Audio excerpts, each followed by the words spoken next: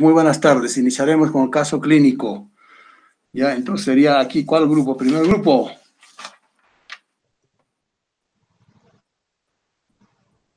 Buenas tardes, doctor. Eh, ¿Con cuál caso clínico iniciaríamos? Ya, inicia con el esto, eh, ese paciente que es de 46 de, de Sabadero, que es más corto la opción. A ver, con eso, después al otro entramos, ¿ya?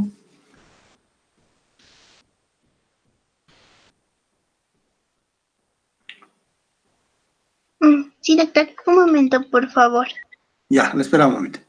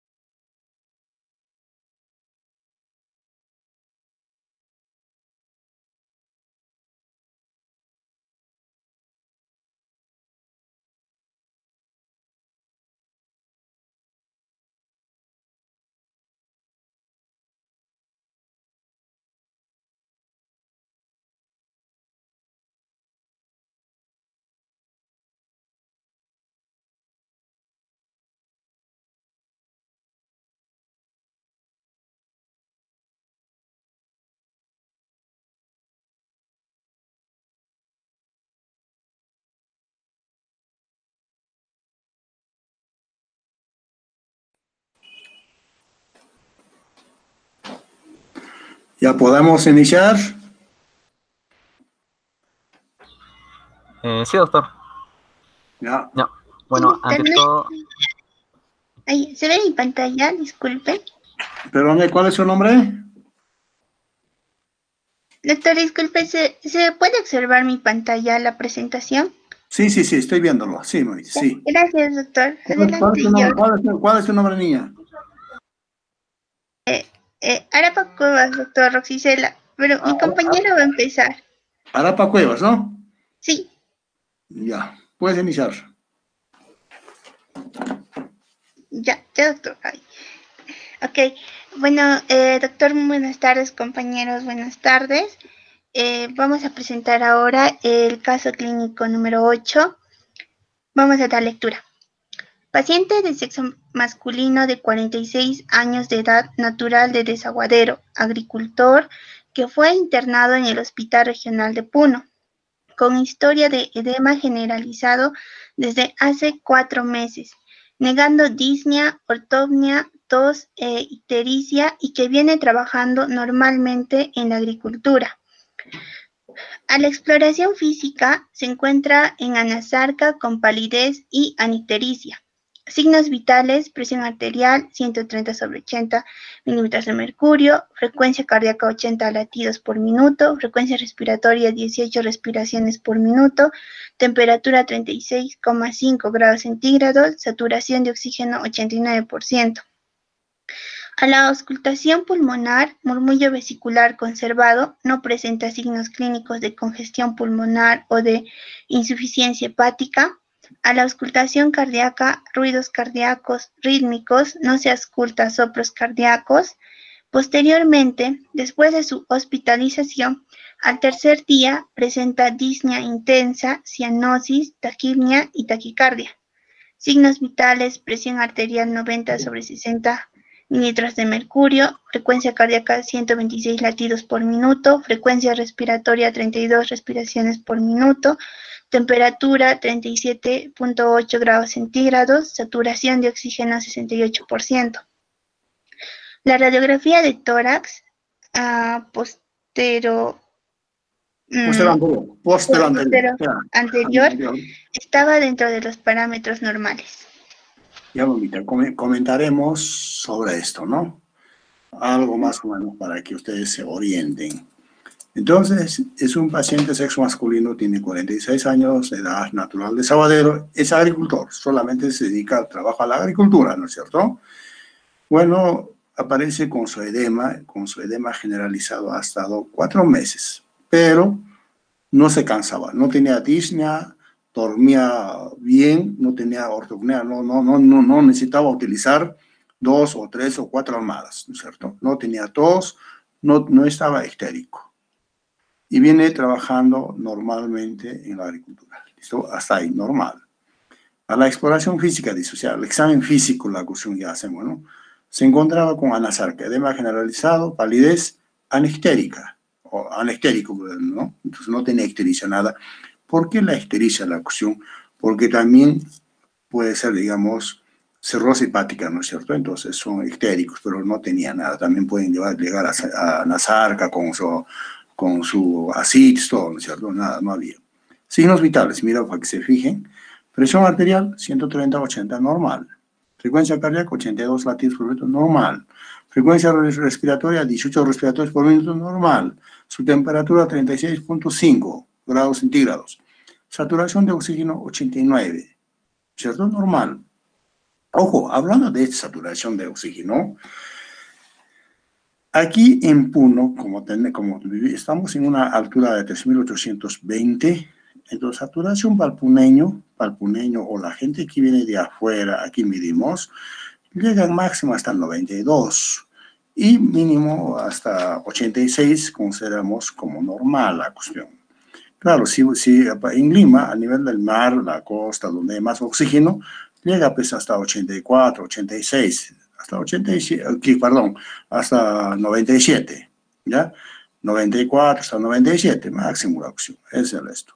Entonces, para nosotros, bueno, este 89 es totalmente normal el la opción, ¿ya? Ahora, salvo la cuestión, una persona puede tener lesiones pulmonares, una fibrosis antiguas, o ha tenido secuelas de tuberculosis, se ha tratado, pero ha dejado fibrosis, entonces hasta pueden estar, digamos, 85, 86 o menos. Entonces, normal para él, ¿listo? entonces, es el esto. Aquí dice, a la auscultación pulmonar, murmullo vesicular conservado, normal. ¿no? no hay estertores, nada. Por eso dice, no presenta signos de congestión pulmonar o de insuficiencia hepática. En una insuficiencia cardíaca, ya sea izquierda o congestiva, debería de haber estertores, ¿no es cierto? ¿Por qué? Entonces hay congestión, el líquido de, de las capilares pasa a los alveolos pulmonares, entonces ya hay estertores, o sea, los ruidos anormales, hemos dicho, esos uh, estertores crepitantes son como agarrar el mechón de cabello y frotar al lado de la, oreja, entonces es esto. O pisa, podemos pisar una nieve, entonces crepita, ¿no es cierto? Entonces comparamos con eso. Entonces aquí no hay nada. La auscultación cardíaca, ruidos cardíacos rítmicos, no se auscultan soplos, nada. No. Posterior, posteriormente, después de su hospitalización, este paciente al tercer día presenta disnea intensa, le falta todo, ¿no es cierto? también está cianótico. morado, los de, los, de las uñas, los de las uñas, el pulpejo de los dedos, taquipnea. Taquipnea ya la cuestión aumenta su frecuencia cardíaca, ¿no? Entonces la frecuencia cardíaca es, digamos, 16 a 20, entonces este ya tenía 32 la cuestión, ¿no es cierto? Taquicardia, ya el corazón late 60 a 100, entonces estaba mayor de 100, es cardíaco también, listo. Y signos vitales, ¿cómo ha variado del anterior? Sí, presión arterial anterior era 130-80, ahora tienen 90-60. Frecuencia cardíaca anteriormente tenía 82, ahora 126, entonces está taquicárdico. Frecuencia respiratoria tiene 32, inicialmente era 18, entonces aquí está taquipnea. Su temperatura 37.8, ya está haciendo fiebre aquí. Entonces, fiebre leve la cuestión, a moderadas podemos decir. Saturación de oxígeno ha bajado, entonces, ¿a qué se debe eso? Pues, entonces ya no está dando, ¿por qué? 68. Entonces está cianótico todo, ya 68 está entonces, ¿no? Le sacan la radiografía, estaba dentro de parámetros o límites normales. Entonces, ¿a qué se debe este paciente la acción? Entonces, es lo que queremos saber, ¿no es cierto? Entonces,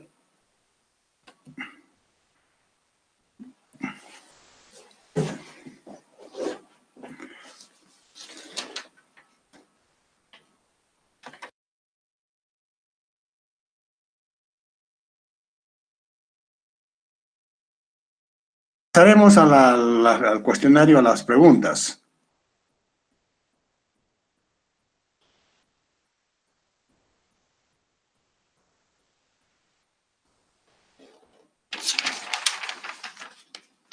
A ver, ¿a pasa con Dori? Presente, presente, doctor. Ya, pasaremos al cuestionario, la pregunta pregunta. ¿Cuál es el diagnóstico probable de la enfermedad de base? Eh, ya, bien, doctor. Eh, con respuesta a la primera pregunta, ¿cuál es el diagnóstico probable de la enfermedad de base? Eh, luego de haber leído el, este, el caso clínico, ya, luego de haber leído el caso clínico, se puede observar que el paciente presenta, la característica principal de lo que padece el paciente es el edema generalizado, o, o también vale decir como el anasarca. Ahora, las bibliografías mencionan que las características, bueno, la eh, las características principales por las que se pueda deber este, un, edema generalizado incluye tres. El primero que tenemos es el edema cirrótico. Y hemos descartado el edema cirrótico debido principalmente que, como se, bueno, luego de haber leído el, este, el caso clínico, se puede observar que el paciente no presenta un problema a nivel hepático, o sea, vale decir, no presenta ictericia. Y además, cabe mencionar que el edema cirrótico sí o sí se, se asocia a una asitis, característica que el paciente tampoco presenta. Ahora, la segunda causa del edema generalizado es debido principalmente a un edema cardíaco. Y el edema cardíaco eh, tampoco, bueno, lo hemos descargado también porque según lo que menciona el caso clínico es que el paciente, eh, bueno, luego de haberse realizado una radiografía en una vista posterior anterior, eh, se puede observar que está dentro de los parámetros normales. Además, em, además, este, luego de haber, además de la ocultación cardíaca, sus ruidos cardíacos, o sea, no se observa soplo, soplo, soplos cardíacos, o sea, vale, o sea, esto quiere decir que el paciente no presenta una, una estenosis mitral que pueda llevar a una congestión pulmonar. Eh, además, eh, luego de, ah, ¿dónde, dice esto? Auscultación, em, ya. Mm, ya, doctor. Ahora, la tercera causa de, por la que se puede deber el edema generalizado es el edema renal, o vale, bueno, claro, el edema renal. Eh, el edema renal, eh, según algunas bibliografías, menciona que esto, el edema generalizado, la causa principal del edema generalizado es debido principalmente al edema, al edema renal, eh, que se va a caracterizar principalmente por una hipoproteinemia. Ahora, ¿cómo, ¿cómo explicamos que es debido a un edema renal? Cabe mencionar, bueno, cabe recordar que cabe recordar principalmente el mecanismo de control del movimiento de los líquidos que se producen a través de una membrana capilar. Es así que, bueno, estas, estas, este, este mecanismo de control se puede, bueno, está, eh, ¿cómo decirlo? A ver, mm, está, depende, sí, de las, este, de las fuerzas de Starling. Y como se puede observar en el cuadro del centro, eh, esta, existen cuatro fuerzas, como ya sabemos todos que van a determinar si el líquido sale de la sangre o hacia el líquido intersticial o en dirección contraria. Eh, cabe hacer hincapié al este, a la presión coloidosmótica, coloidosmótica del plasma capilar. Eh, esta fuerza va a tender a desplazar el líquido hacia el interior, o sea, va a impedir que el líquido salga hacia los tejidos. a través de una membrana capilar, de manera que, eh, eh, de manera que este, la presión ejercida por el, por el, este, por la, por la, por el, bueno, por el, por la concentración plasmática de proteínas, eh, va a determinar la concentración plasmática en, este, en el centro. Y esto va a ser principalmente debido a la albúmina.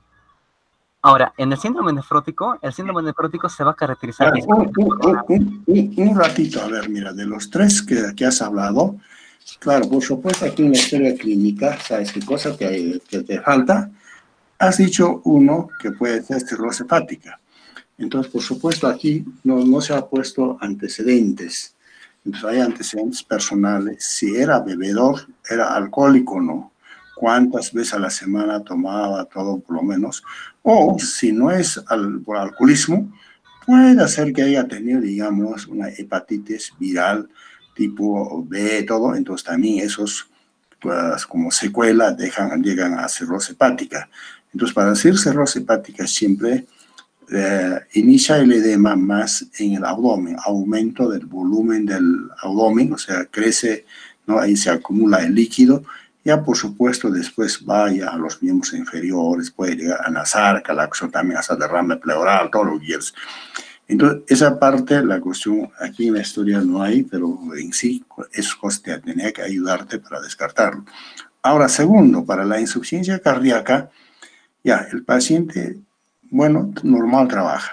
Si era, digamos, una insuficiencia cardíaca de izquierda o congestiva, siempre tenía que tener su disnea. No es de normal, digamos, su pala épico trabajaba, digamos, ¿no? Pero lo único, la cuestión se tenía anasarca y no sabemos en dónde inició el edema, en los ojos, en el abdomen o miembros inferiores. Probablemente aquí ha sido, eh, bueno, por los ojos, ¿no es cierto?, por los párpados, y después poco a poco se ha generalizado toda la cuestión. Entonces, ya en la insuficiencia cardíaca descartamos, y cuando hay congestión pulmonar también, ¿no es cierto? Hay tos, porque esa congestión eso provoca, no ha habido nada. No hay estertores, ruidos anormales, la cuestión, nada, eso, con eso ya descartamos. Ahora, tercero, la cuestión, para si tú quieres hablar del síndrome nefrótico, entonces este paciente, la tenía que tener, hay causas primarias, secundarias las, las, primarias casi no se sabe, hasta por la picadura de un insecto o por algún medicamento o paciente diabético. Entonces, puede la cuestión, desde ahí la cuestión, entonces tenía que haber la causa, no hay nada, creo. Y además de eso, siempre el paciente que tiene síndrome nefrótico, o sea, normalmente nosotros no perdemos las proteínas, o si, si, si es que se pierde, digamos, haciendo ejercicios, todas las cosas, dice que en 24 horas hasta 200 miligramos. Pero ya cuando hay la pérdida, pérdida, entonces algunos inclusive dicen la su orina es espumosa, entonces por ahí está perdiendo las proteínas. Y empieza la cuestión, el edema siempre a nivel de los párpados, de ahí puede generalizarse toda una nasarca la acción, no solamente sola, no, no sola, también puede comprometer derrame pleural, derrame pericárdico, el derrame en el este, en el abdomen, es todo la acción. Entonces ya, por la acción, llegamos, listo. Entonces, y ya, entonces, ¿cuál sería para ti diagnóstico probable de enfermedad base? O sea, primera, enfermedad, la acción, ¿cuál? Ese base, ¿no? Entonces, primera patología. Ya, doctor, es, en sí, de acuerdo a los descartes que hemos hecho, eh, bueno, doctor, también quería agregar que el edema que se debe a una insuficiencia cardíaca, esto por lo general se asocia principalmente por un, este, por un derrame, por un derrame pleural. Y como, como, como, bueno, en el caso clínico se manifiesta de que eh, a una auscultación pulmonar el paciente eh, presenta el murmullo vesicular conservado, o sea, es decir, que no presenta congestión pulmonar esto me ha ayudado a descartar también que el edema eh, no puede ser debido a, un, este, a, un, a una insuficiencia cardíaca. Y, si es que habría derrame, derrame pleural, ¿qué tipo de ruido escucharías? Mm, el, el, murmullo, eh, bueno, una auscultación pulmonar sería el murmullo vesicular, doctor.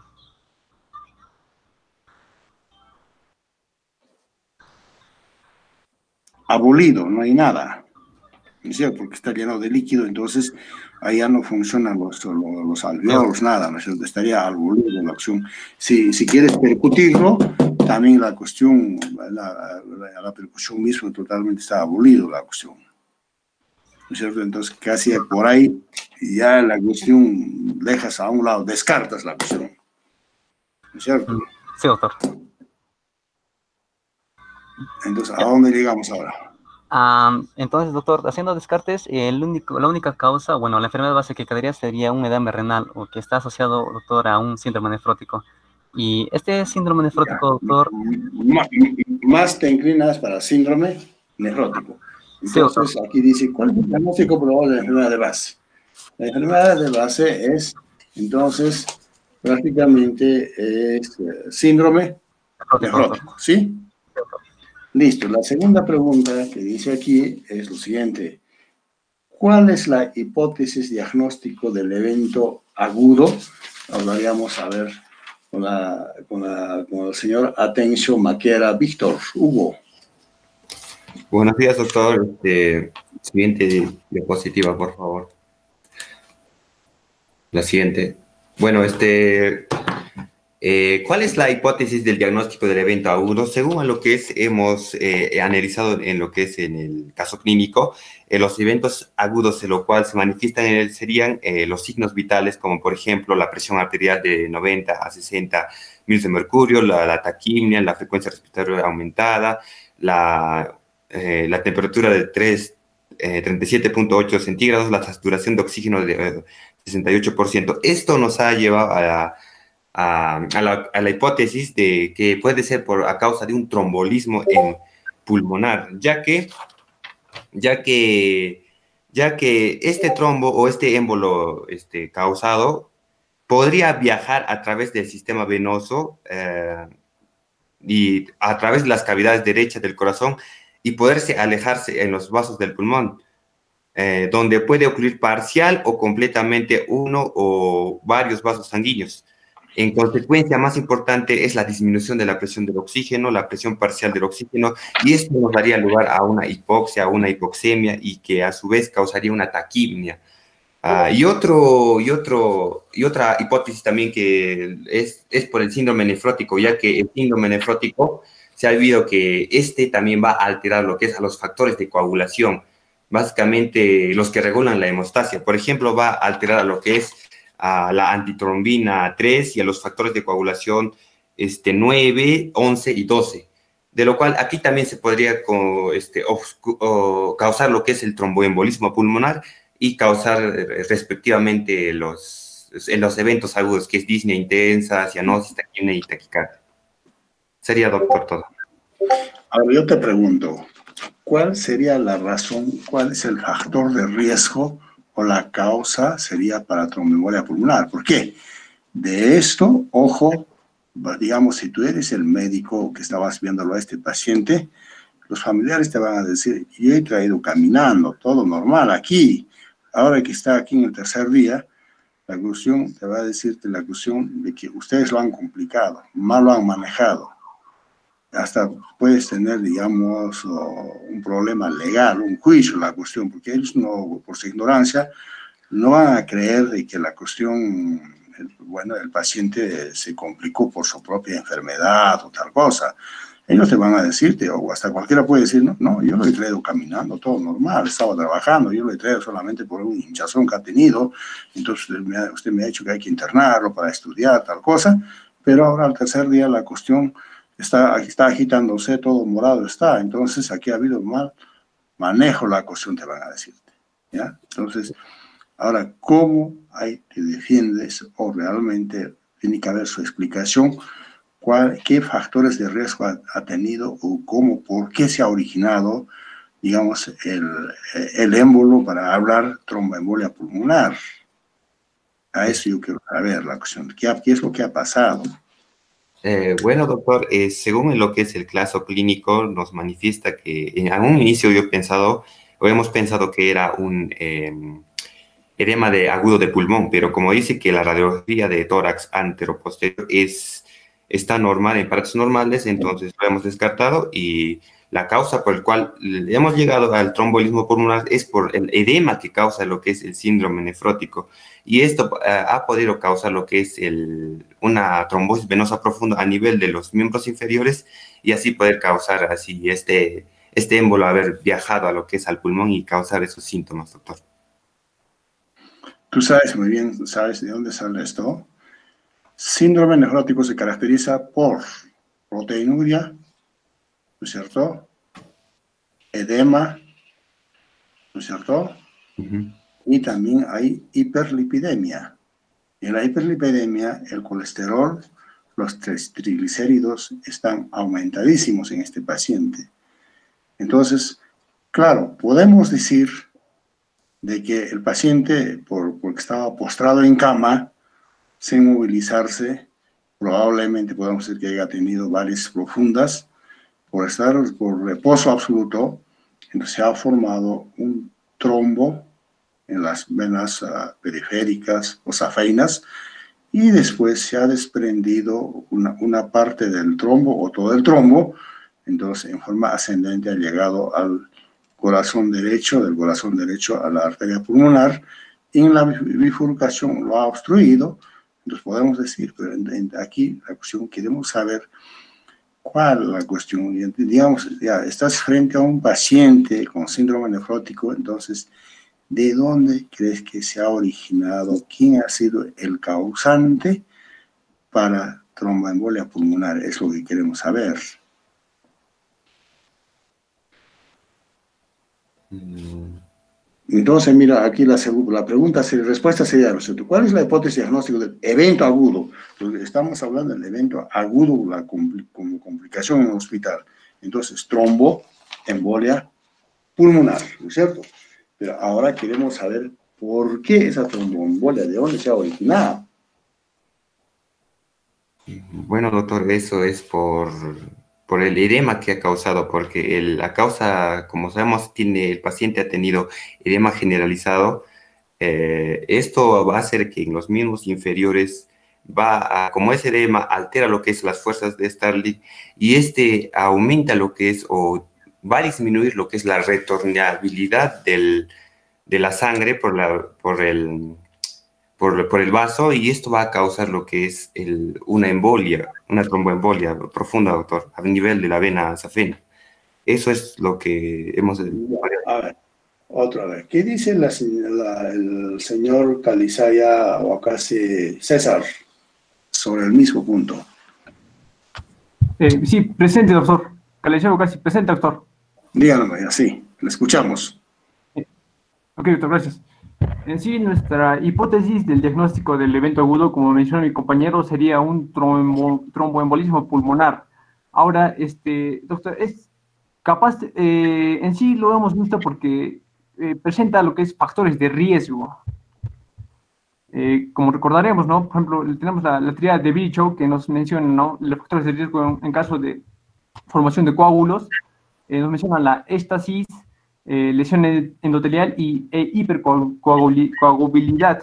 Este paciente eh, presenta dos, dos de esos factores de riesgo, que serían la éstasis venosa, eh, tal vez producida porque está hospitalizado, nos menciona, ¿no? Tres días el paciente está hospitalizado, y también lo que es por la hipercoagulabilidad, que puede ser consecuencia de lo que es el síndrome nefrótico.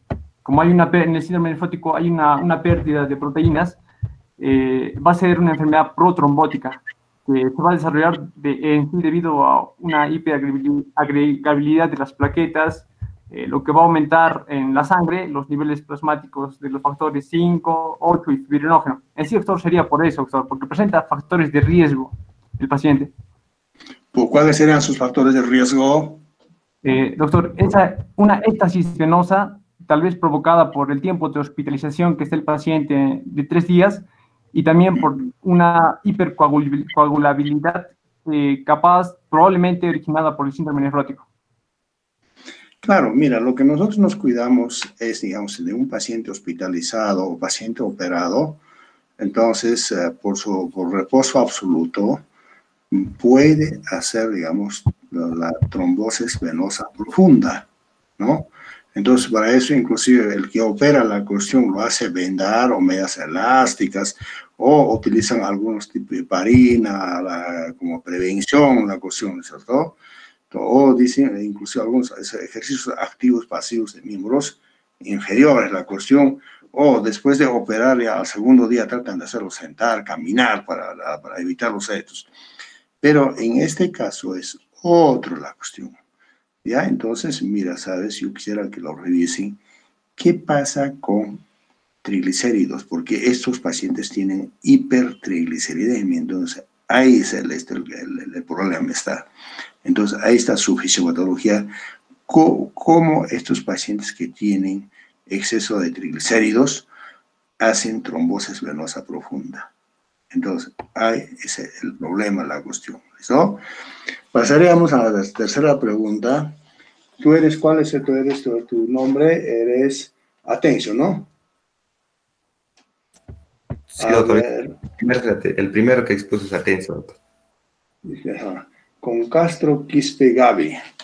Sería la tercera pregunta. ¿Cuáles son las conductas para, para el esclarecimiento de la enfermedad de base?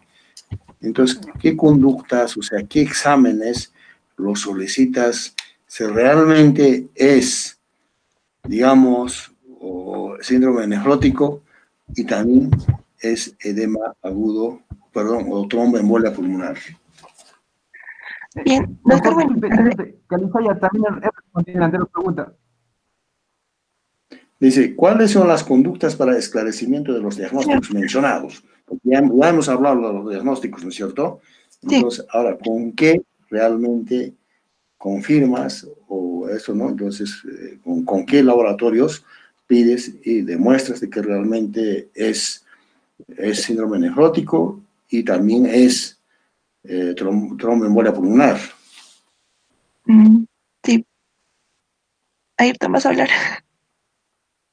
Ya, mejor, ya continúo. Eh, bueno, la enfermedad de base que nosotros hemos diagnosticado es el síndrome nefrótico. Para, para poder eh, diagnosticar eh, verazmente esto, porque en realidad es una hipótesis que tenemos, ya que el caso clínico no nos brinda las manifestaciones clínicas eh, suficientes como para hacer un diagnóstico certero, ¿no? Saber que es esto siempre. Entonces, ¿qué podemos hacer? Podemos pedir o hacer un análisis de de orina para ver cuál es la concentración de proteínas que, tendría este paciente. Y bueno, la orina, bueno, esto es el examen en 24 horas, ¿no? La cantidad de orina y pues ver si, si es mayor a 3,5, eh, pues estaríamos hablando de que no se acerca más al... solicitas entonces proteinuria de, proteinuria de 24 horas, ¿no es cierto? Y en ahí te ha dado, digamos, mayor de 3.5 gramos, ¿no es cierto?, de proteinuria, ¿sí? Sí, es Eso ya, ya te dice, ya se te inclinas, ya realmente este es un síndrome nefrótico.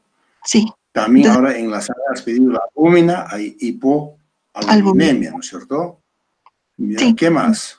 También podríamos pedir este... ese examen le has pedido una prueba de, bueno, en sí del, del perfil renal, eh, viendo la urea, la creatinina, el ácido úrico, ¿no? Para ver los parámetros en los que se encuentre.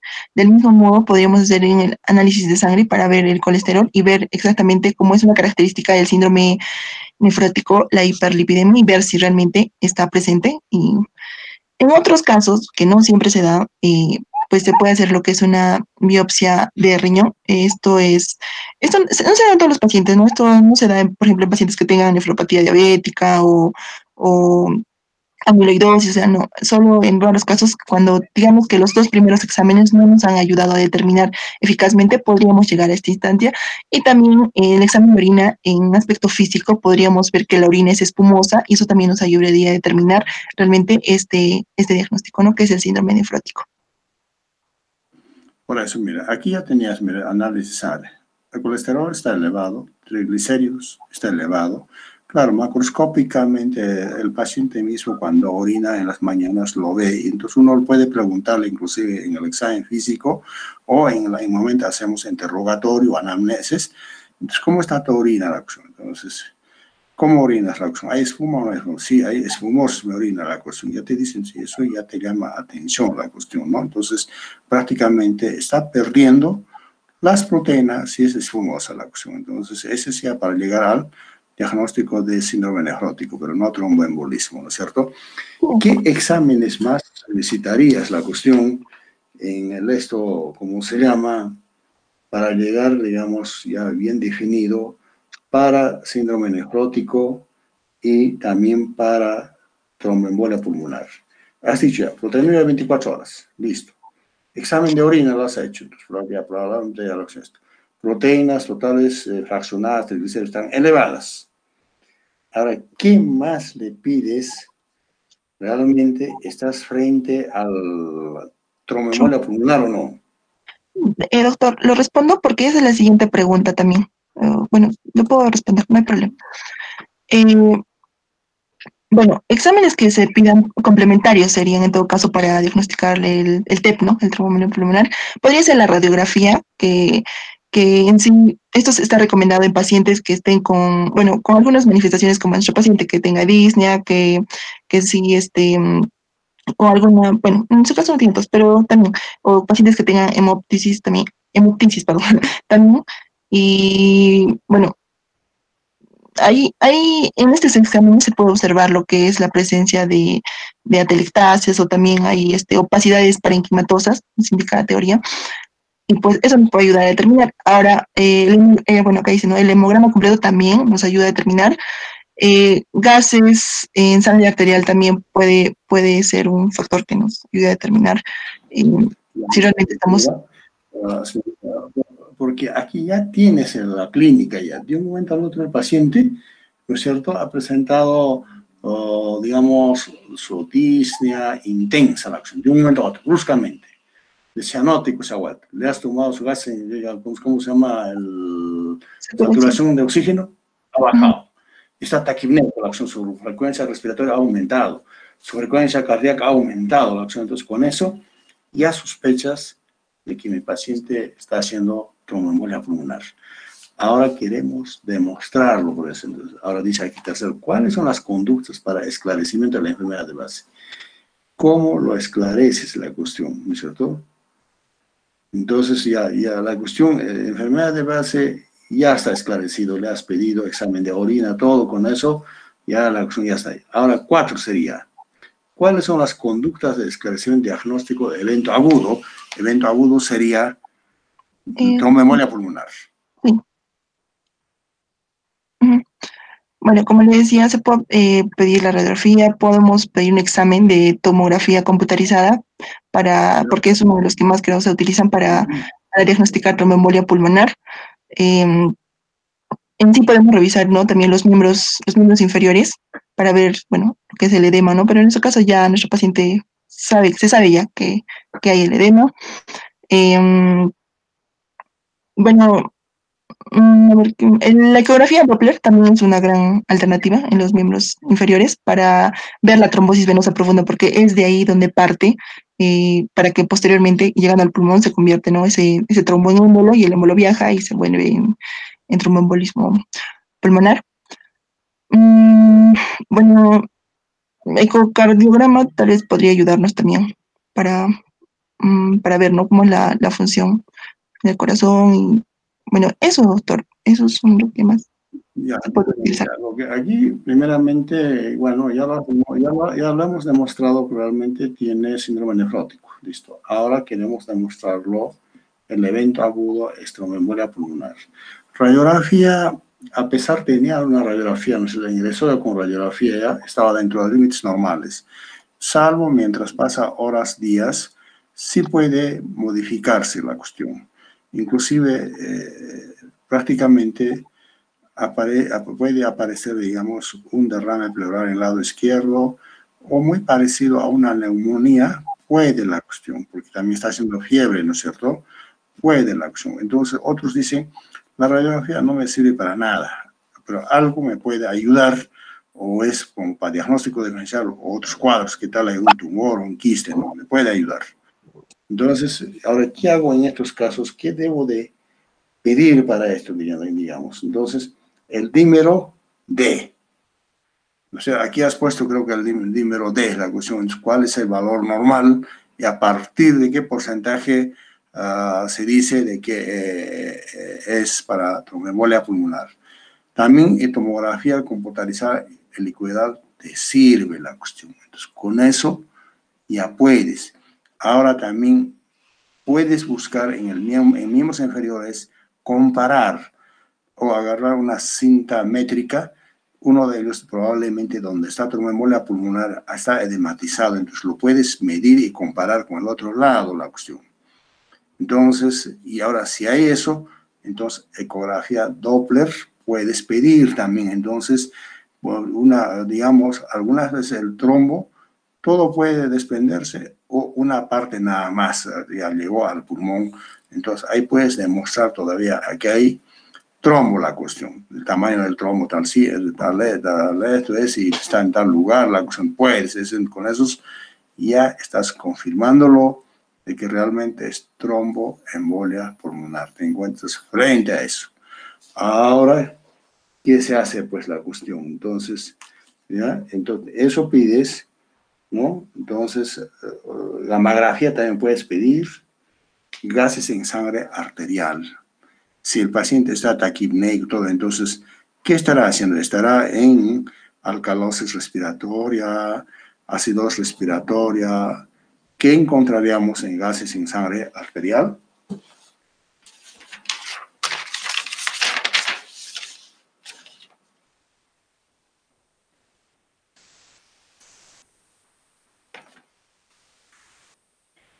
A ver, esta pregunta le daremos al señor Caso Darico.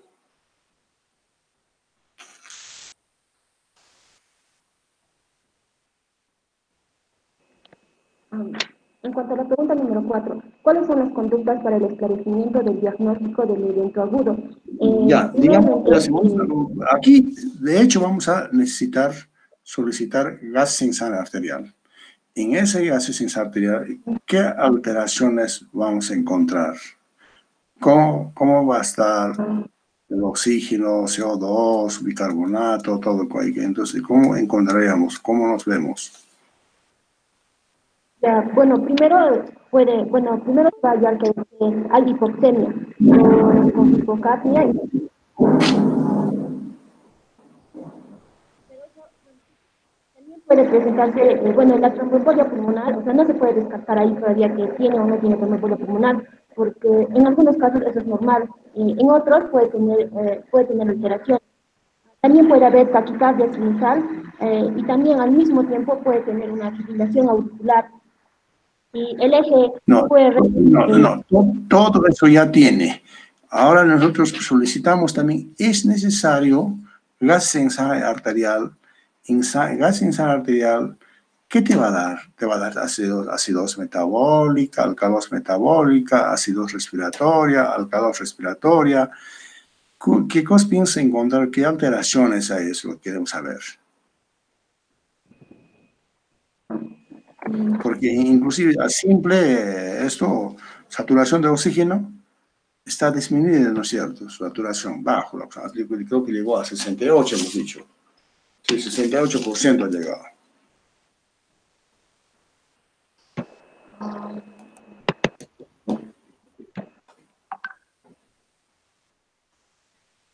Eh, bueno, en, aquí podemos, este, eh, como, como eh,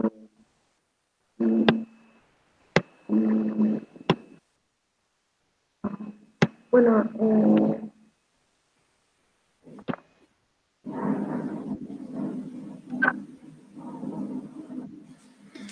A ver, que le ayude el señor, señorita Cuno, Guainillo, Mónica.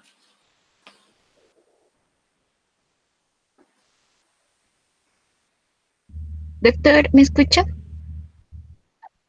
Le escucho.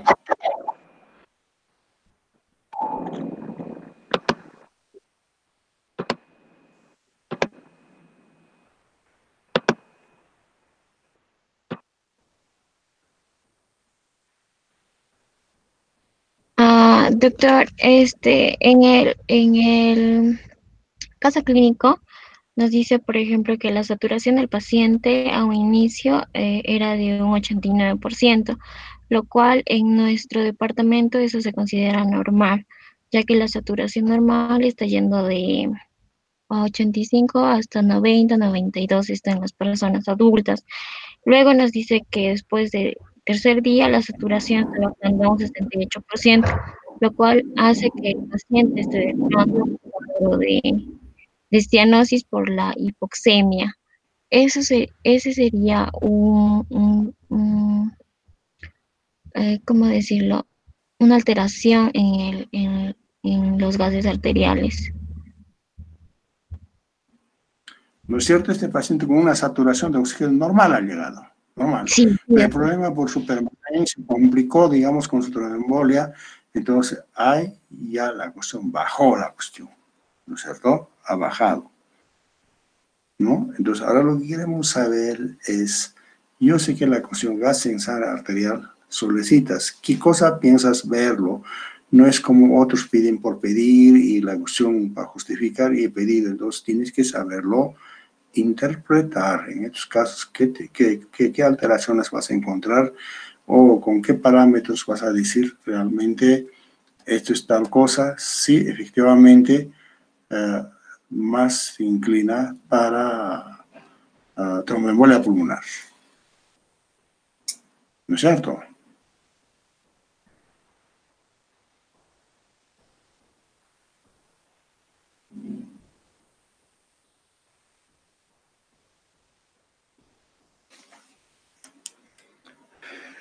A ver, Cheña Díaz, Vanessa.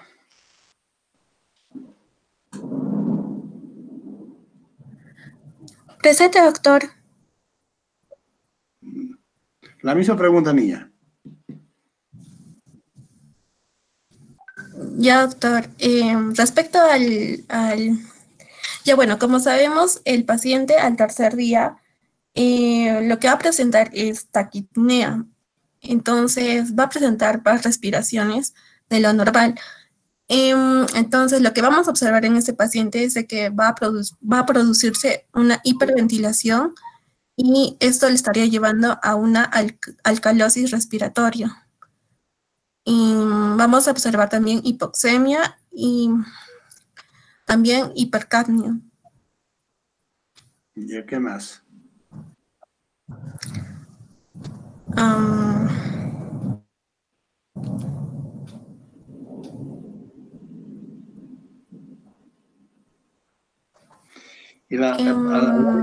eso. Ya. A ver, realmente, para usted mismo, señorita Vanessa, aquí han solicitado, dice, aquí está en, el esto, electrocardiograma. ¿Será necesario, nos ayuda como diagnóstico o una sospecha, eh, o qué porcentaje nos puede ayudar para, decir esto es eh, o favorece o se sospecha para tromboembolia pulmonar.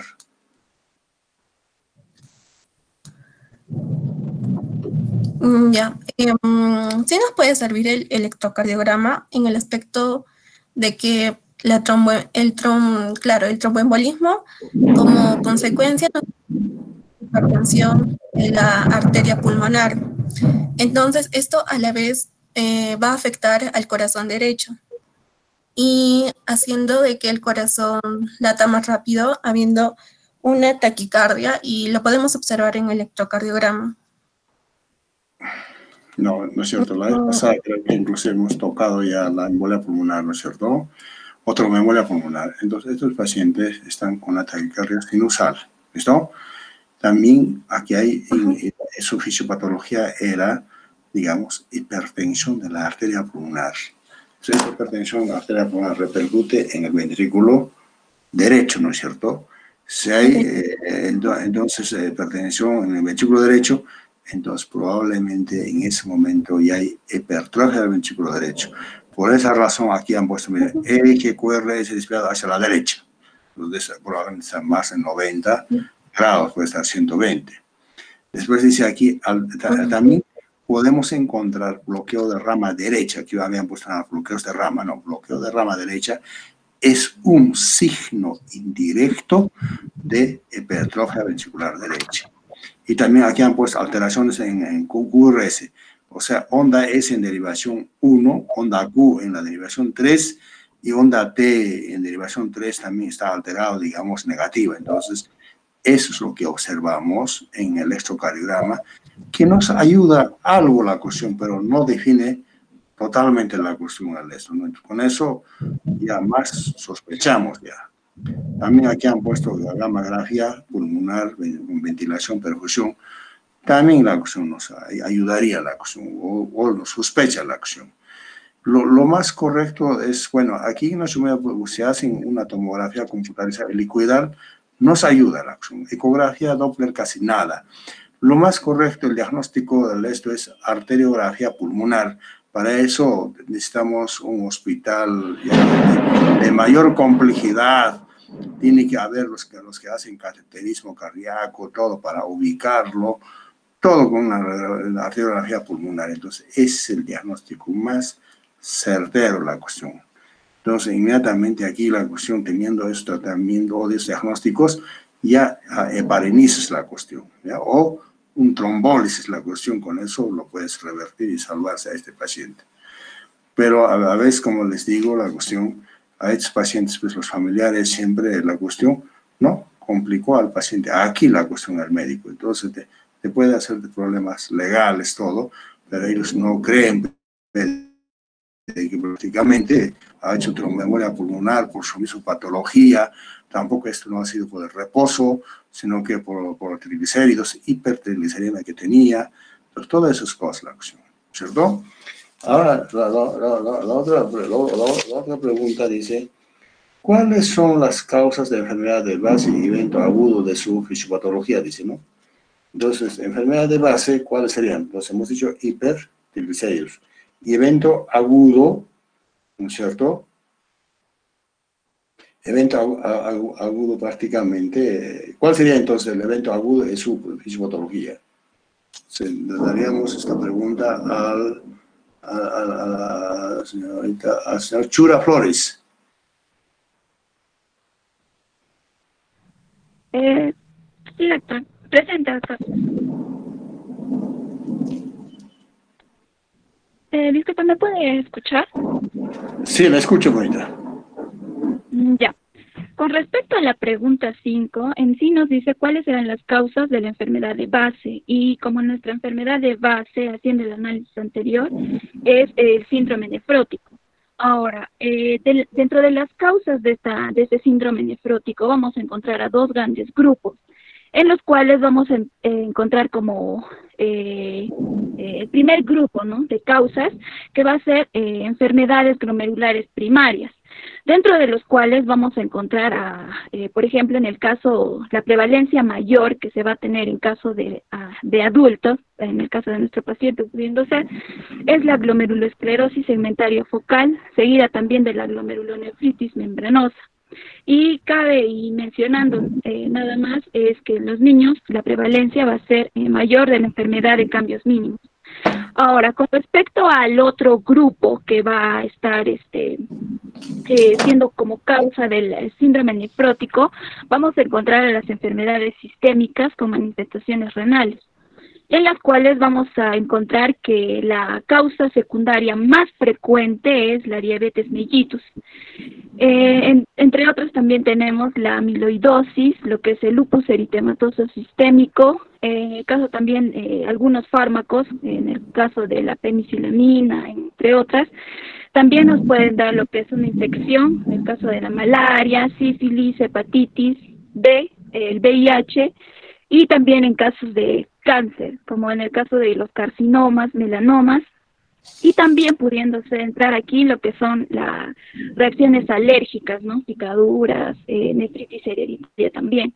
Ahora, eh, eh, con respecto al diagnóstico, o sea, la causa eh, específica sobre este, lo que, nos cause, ¿no? Lo que es el síndrome nefrótico en nuestro paciente, en sí no, no tenemos algo claro, debido a que no se le ha hecho muchas pruebas. Por ejemplo, en el caso a descartar con mayor probabilidad sería la diabetes mellitus, pero al paciente no se le ha eh, descartado esta enfermedad tampoco porque no, no no tiene exámenes complementarios que nos ayuden a diagnosticar esta enfermedad. A su vez también eh, sobre en el caso de lo que es las manifestaciones clínicas, el paciente no presenta las eh, clásicas manifestaciones de esta enfermedad como son la polidipsia, la poliuria, polifagia, ¿no? Entre otras. Entonces, eh, siendo esto, podemos o sea, no se tiene una causa clara de este síndrome nefrótico. Eh, ahora, con respecto a la causa del tromboembolismo pulmonar, según lo que, bueno, hemos encontrado, ¿no? En nuestra discusión también, es que el caso, eh, bueno, la causa de este tromboembolismo pulmonar en sí es eh, por la manifestación que tiene, ¿no? De dos parámetros establecidos en lo que es en la tríada de Virchow, teniendo así lo que es la éstasis venosa y la hipercoagulabilidad que se produce en este síndrome nefrótico. Es por ello que eh, lo que es la presencia de esta trombosis, eh, generalmente, por ejemplo, en el caso de lo que es el síndrome nefrótico, se produce una trombosis venosa. Ya, más o menos aceptable. La otra pregunta. casi en el 60% de los pacientes. Y es. cierto? Ya, la, la, otra pregunta sería para la señorita Cruz Sosa, Silvana, ¿no? Sí, doctor, presente. ¿Qué esquema terapéutico usted recomendaría a estas patologías respectivamente? O sea, a los dos me refiero, ¿no? Tiene entonces síndrome nefrótico y tiene al mismo tiempo tromboembolia pulmonar. ¿Qué cosa ofrecerías, digamos, a qué tratamiento? Mm, bueno, generalmente para el síndrome nefrótico eh, lo que se usa son diuréticos de asa eh, combinado junto con ahorradores de potasio. El problema en el caso del tromboembolismo, bueno, según la bibliografía que buscamos, el problema que había en cuanto a que se desarrolle eh, síndrome nefrótico y posteriormente un tromboembolismo eh, es más tratar el coágulo. ¿Con qué? Esto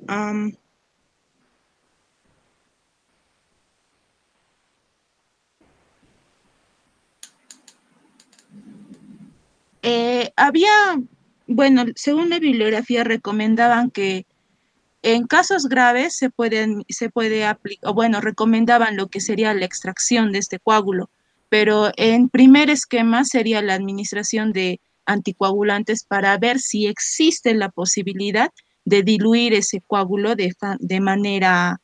¿Qué, tipo, de anticoagulante? Hay anticoagulantes por vía oral como warfarina, hay también la heparina y otros ellos, ¿no? Entonces, ¿cuáles ofrecerías tú? De tipo oral, doctor.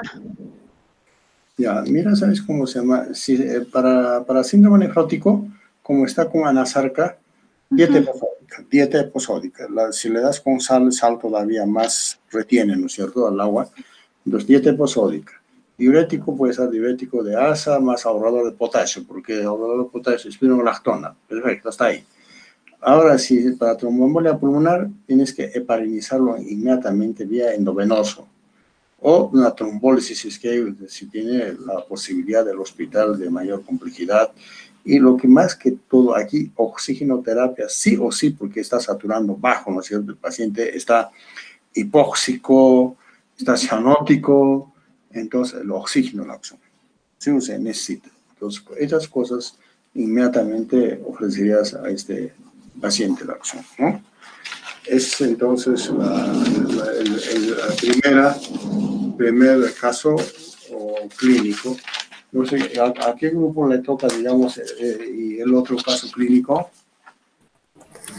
Doctor, buenas tardes. Disculpe, eh, soy del último grupo, del primer grupo y no me llamó todavía. Ah, usted, señorita, es... Espinosa Tito. Espinosa. Ya. Digamos, mira la acción. Este, este, paciente con síndrome nefrótico, todas sus proteínas casi, está con mínima de proteínas, albúmina. Eh, ¿Qué ofrecerías? ¿Qué harías? En su tratamiento del paciente. Bueno, para tratar un síndrome nefrótico, primero vamos a ver si el paciente, cómo está su presión arterial. Si, si el paciente tiene una hipertensión, podríamos tratarlo con yecas como el lisinopril, captopril, april, o un ARA2 como el sartán, valsartán, y también podríamos utilizar los diuréticos de ASA como una emergencia. Eh, sería la furosemida. Y también se puede usar los roedores de potasio como la espironolactona. Em, las también podemos usar las tiacidas como la hidroclorotiacida. Em, por ejemplo, el paciente de síndrome nefrótico tiende a tener hipercolesterolemia, entonces podríamos utilizar un reductor de colesterol, como serían las estatinas, para disminuir el nivel del colesterol en el paciente. Y también utilizar fundamentalmente los anticoagulantes, ya que debido a la hipercolesterolemia y la hipoalbuminemia y la hipoproteinemia, la, ah, ya, la proteinuria, necesitaríamos usar los anticoagulantes como la heparina, la warfarina, el dabigatran, el lapixaban. Esto, mm, dependiendo si el paciente, en cómo está su estado, si, si, está, si está formando coágulos. Y también tratar acerca de medicamentos que supriman el sistema inmunitario. Esto debido a que también el síndrome nefrótico se le pudo haber dado por una reacción inmunitaria. Y o, sea que darías, o sea que darías corticoide. Pero ¿qué tal es la causa? De esto? ¿Qué, tal el paciente tenía su diabetes mellitus y esa sería la causa del síndrome nefrótico? y sabes que los corticoides está contraindicado pacientes diabéticos, ¿no es cierto? Aumentan más la glucosa. En estos casos, ¿qué haríamos? En, un paciente con diabetes mellitus, más que todo sería indispensable bajarle la, el colesterol, ya que en el diabetes mellitus también necesita que el paciente tenga colesterol y se daría con las estatinas de tratamiento. Y también mm, los este, los, uh, los, los diuréticos de los, los ahorradores de potasio como... ¿Y, y, y cómo hacemos con su, ¿Y cómo hacemos con su albúmina? Albúmina, digamos, 4 a 6 gramos en una persona, albúmina sérica. ¿Qué tal su albúmina está, digamos, 1.5 la cuestión? Prácticamente está totalmente bajísimo la cuestión porque todo el líquido está en el intersticio, la cuestión fuera del vaso. Ahora la todo líquido, la cuestión le das, todo se va al, intersticio, o sea, fuera del vaso. ¿Y cómo, cómo podemos, digamos, corregirlo eso? Bueno, más que todo sería en una dieta y también una dieta con, eh, con rica en albúmina y también disminuir la retención. Como el paciente tiende a formar edema, disminuir eh, disminuir, el agua, el agua. Eh, mira, mira, ¿qué, tal vamos a disminuir el agua, ingesta de líquidos y listo? Y también todo el líquido está fuera del vaso, o sea, está en el intersticio la cuestión. ¿Y qué tal la cuestión? Si hay, hay poco líquido, lo estamos complicando con una insuficiencia renal, ya no hay tanto filtración de líquido todo. Y pedimos la cuestión, su función renal, ya está en elevados la urea y la creatinina, ya nos, nos, vemos en una insuficiencia renal, ya lo complicamos al paciente. Mm. Porque si el paciente sigue, sigue con anasarca la opción y no está orinando ya la opción. Mamita, tienes existe albúmina humana la cuestión. Ya en, en el comercio, en las farmacias, entonces, esa albúmina humana, si posible, lo mezclas con, digamos, con cloruro de sodio en la dextrosa, entonces lo administras por vía endovenoso. Entonces, a esa albúmina humana al ingresar, nuevamente se lo lleva del intersticio a intravascular, entonces ya, ya disminuye el edema, la acción. Entonces, ese es otro de que tendrías. Sí, eso sería por... con, con, eso te vas a defenderte. Ahora la cuestión, tenemos que saber la causa del síndrome nefrótico. ¿Qué tal la cuestión era solamente por la mordedura o picadura de una abeja? Entonces con el corticoide la cuestión lo podemos resolver del todo la cuestión. con, con, cualquiera de los corticoides la cuestión podemos resolver. Entonces, otras veces no saben la causa, cuál la cuestión. Ahí está el problema. ¿Listo? Ya, esto sería entonces con, con ustedes es el primer grupo. Entonces, el, el, el, otro caso, hablaríamos quién va, quién va a sustentar. Caso clínico 4 o 6, ¿no?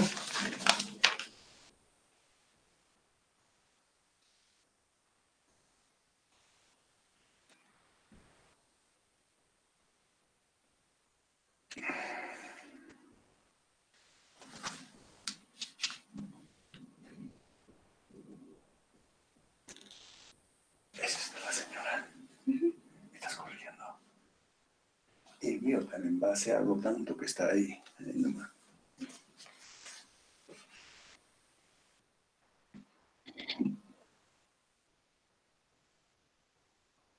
Sí, sí, la escuchamos, la escuchamos. ¿Es grupo, ¿Ustedes son grupo 2?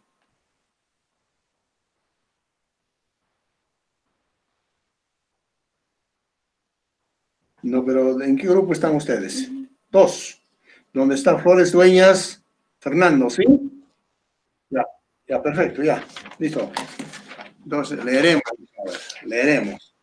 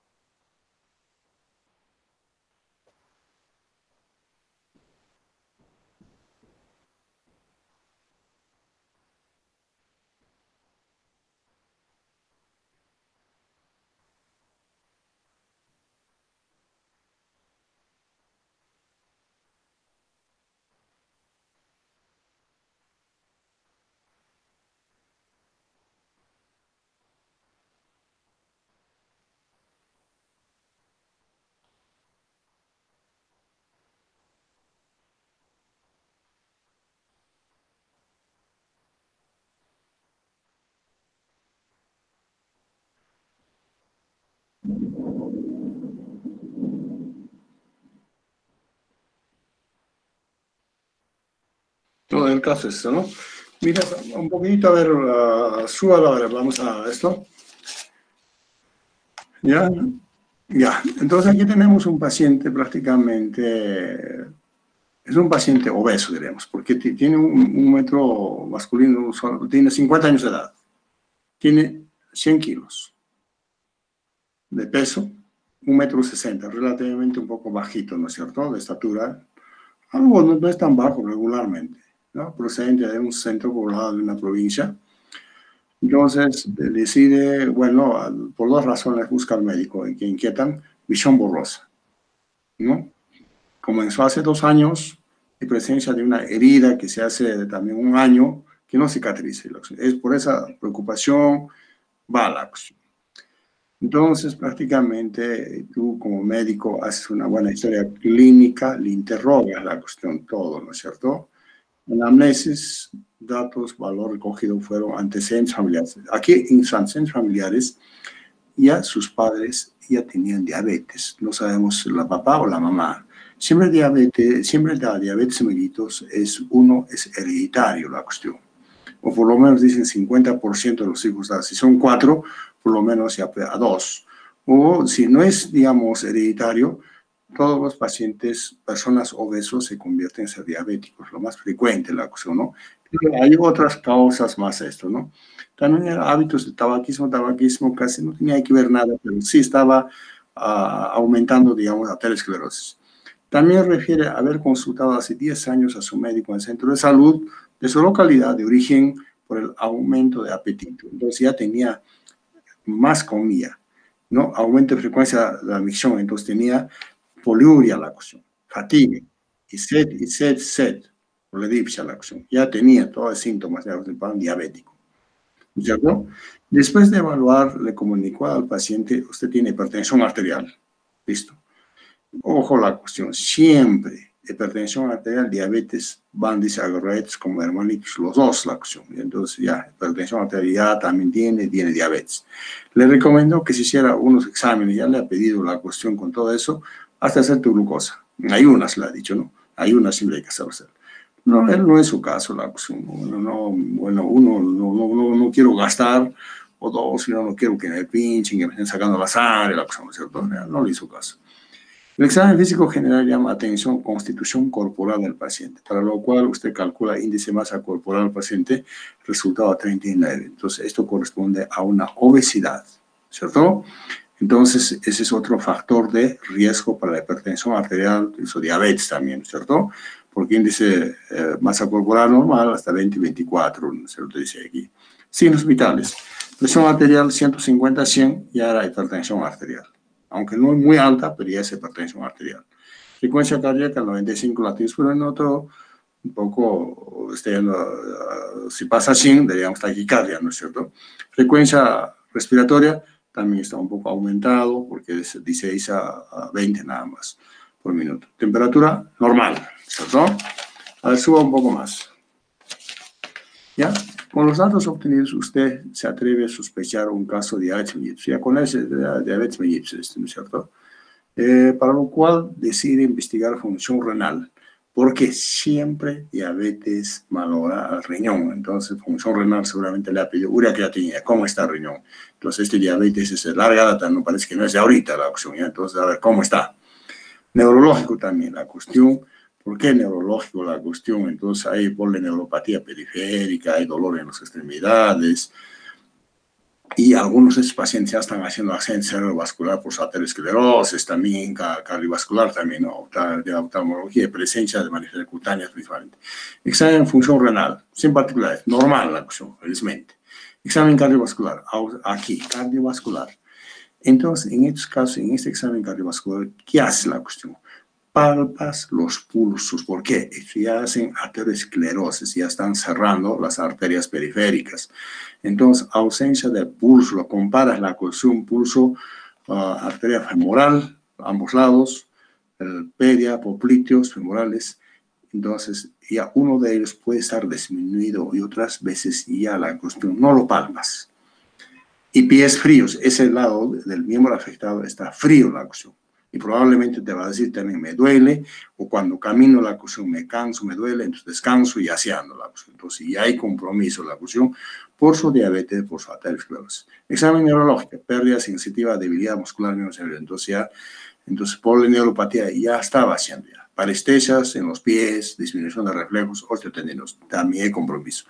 Examen de segundo par craneal, disminución agudiza visual, examen fondo de ojo, presencia de edema de la mácula, la ya la encontró, digamos, el estudio. Examen musculoesquelético, cambio, cambio indoloro de la forma del pie, pie, cabo con dedos en garra, edema miembro inferior. ¿Por qué edema la acción? Inclusive el causante de este diabetes es síndrome nefrótico, entonces ya tiene la acción, ¿cierto? Examen dermatológico, eh, herida indolora, falta de cicatrización, se queda de la piel, listo. También, ¿por qué? Por aterosclerosis. Entonces ya, ya no es riego, entonces no cicatriza fácilmente las heridas, todo. Para confirmar el diagnóstico de diabetes, descartar la insuficiencia renal, usted ordena al paciente realización de los exámenes laboratorio, los resultados fueron los siguientes. Hemograma sin datos patológicos, está normal. Su glucosa está elevado, la acción ya está listo. En ayuna siempre tiene que ser este, eh, glucosa la acción. Algunas veces hay pacientes que vienen con esos síntomas, pero digamos llegan 10, 11 de la mañana, entonces ya tomaron desayuno y está alterado, ¿no? Entonces mejor es, si, si está alterado muy alto, entonces mira, te repito la cuestión que ahora en ayunas, pues, ¿no? Cuerpos citónicos demostrados en la sangre normal. Triglicéridos está alto aquí, ¿no?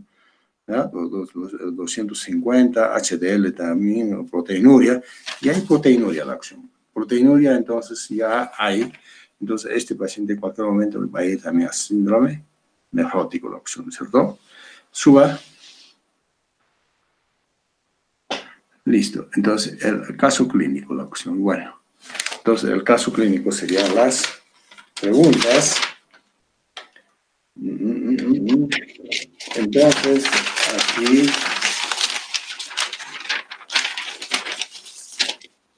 dice aquí, ¿Cuáles son los efectos de diabetes mellitus sobre el metabolismo de los hidratos de carbono, lípidos y las proteínas? Entonces aquí tendríamos, ya, ¿quién es el que ha leído, por favor?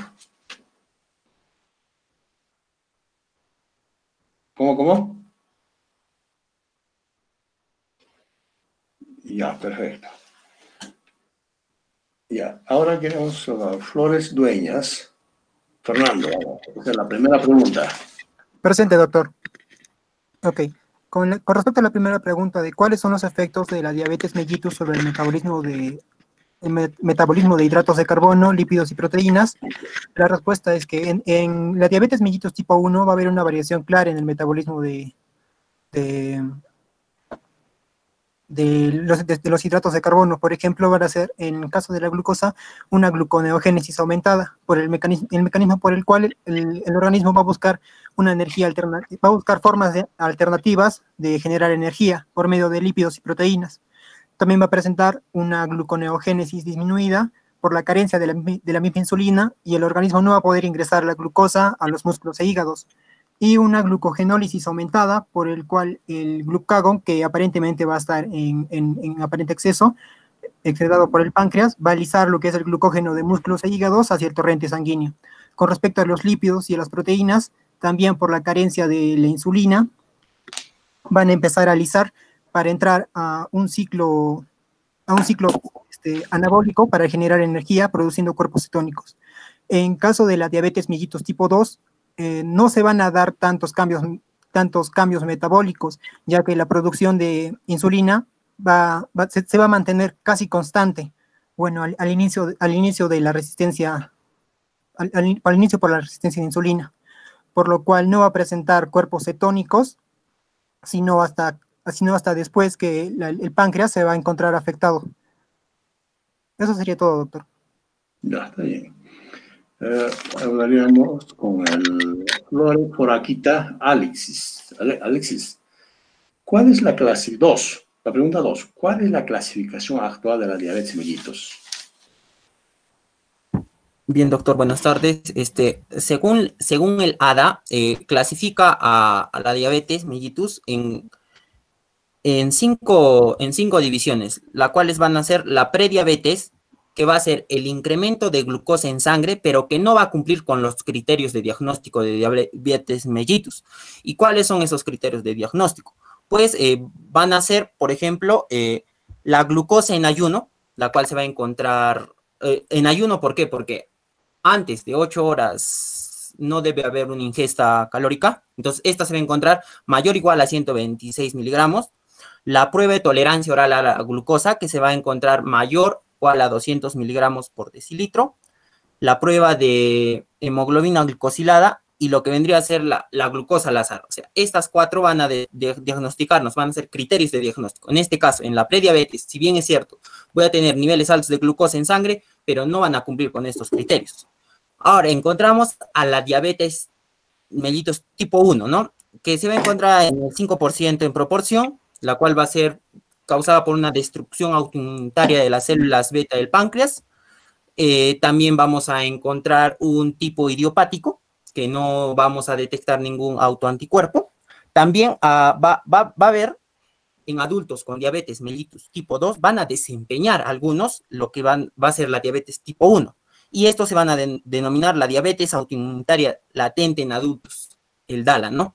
Ahora, vamos a lo que es la diabetes tipo 2 la que encontramos en, la mayoría de la población, ¿no? Que va a estar asociado a lo que va a ser el síndrome metabólico.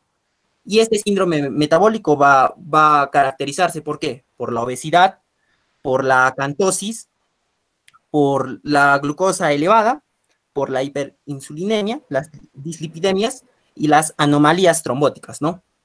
Ahora también encontramos eh, en esta que si bien es cierto, uh, bibliografía menciona que es también de inicio en adultos o no insulino dependiente, pero se ha encontrado casos que en adolescentes y en niños también hemos encontrado diabetes tipo 2. Característica de diabetes tipo MODI. ¿Por qué MODI? Porque es una diabetes de la edad madura que se presenta en el joven. Así menciona. Entonces, eso tacharía esos, esos, esas denominaciones de inicio en adultos o no insulino dependiente, ¿no? Ahora, también encontramos diabetes mellitus gestacional, presente en el segundo o tercer trimestre de gestación, y eh, esta tiene un mayor riesgo. Al no ser controlada, pues pueda convertirse en una diabetes mellitus tipo 2. También encontramos las diabetes debido a otras causas, asociadas, por ejemplo, a enfermedad pancreática, recesión de tejido pancreático, enfermedades endocrinas como acromegalia, síndrome de Cushing, feocromocitomas, causadas también eh, por eh, glucemia de origen hepático, anomalías genéticas en las células beta o por tratamientos farmacológicos o químicos. Eso sería todo, doctor. Gracias.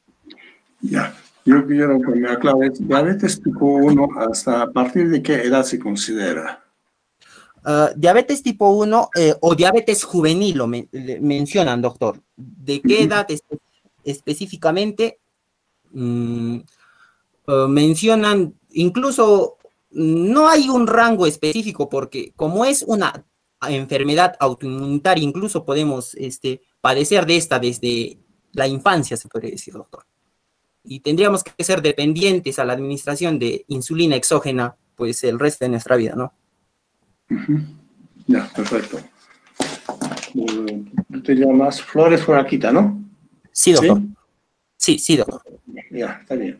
González Cayo sería establezca, tercera pregunta, uh, establezca el mayor número de diferencias posibles entre diabetes tipo 1 y tipo 2.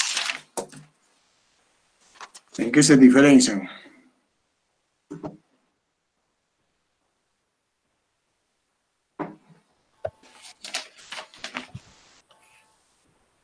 Doctor.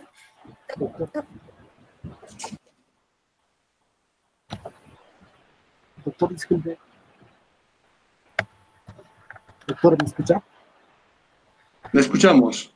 González Cayo Diego. Bueno, doctor, ¿Sí? soy yo, compañero. quería hablar sobre el compañero. Es que ahorita en Juliaca está, está bueno, está teniendo una fuerte lluvia, ya sea con truenos, rayos, y el compañero, bueno, se ido la luz ahorita y como que no tenemos mucha conexión a internet y eso le pasó al compañero Diego, que se le fue en la casa la luz y se le fue el internet también. Es por eso que ahorita no está presente doctor, del compañero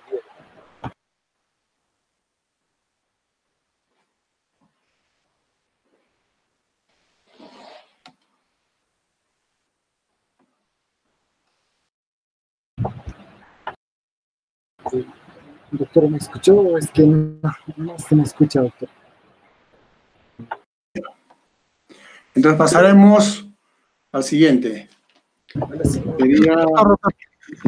Doctor, disculpe, este, le llamé a mi compañero, no sé, si, no sé si, se le escuchará por llamada. Ya, ¿cuál es tu nombre? ¿Sigues con, sí, continúa con González Cayo? Mm, sí, doctor, un momento, voy a ver si, mediante el teléfono se puede escuchar a, mi micro, doctor. Ya, no, ahora se escucha mejor, mejor. Habla, a ver.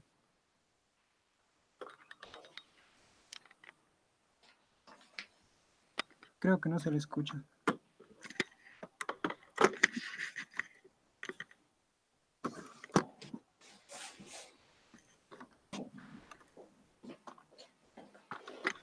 A ver, un momento, intentaré llamarle de otro, de otro, de otro contacto. Sí, vamos a ver, ¿cierto?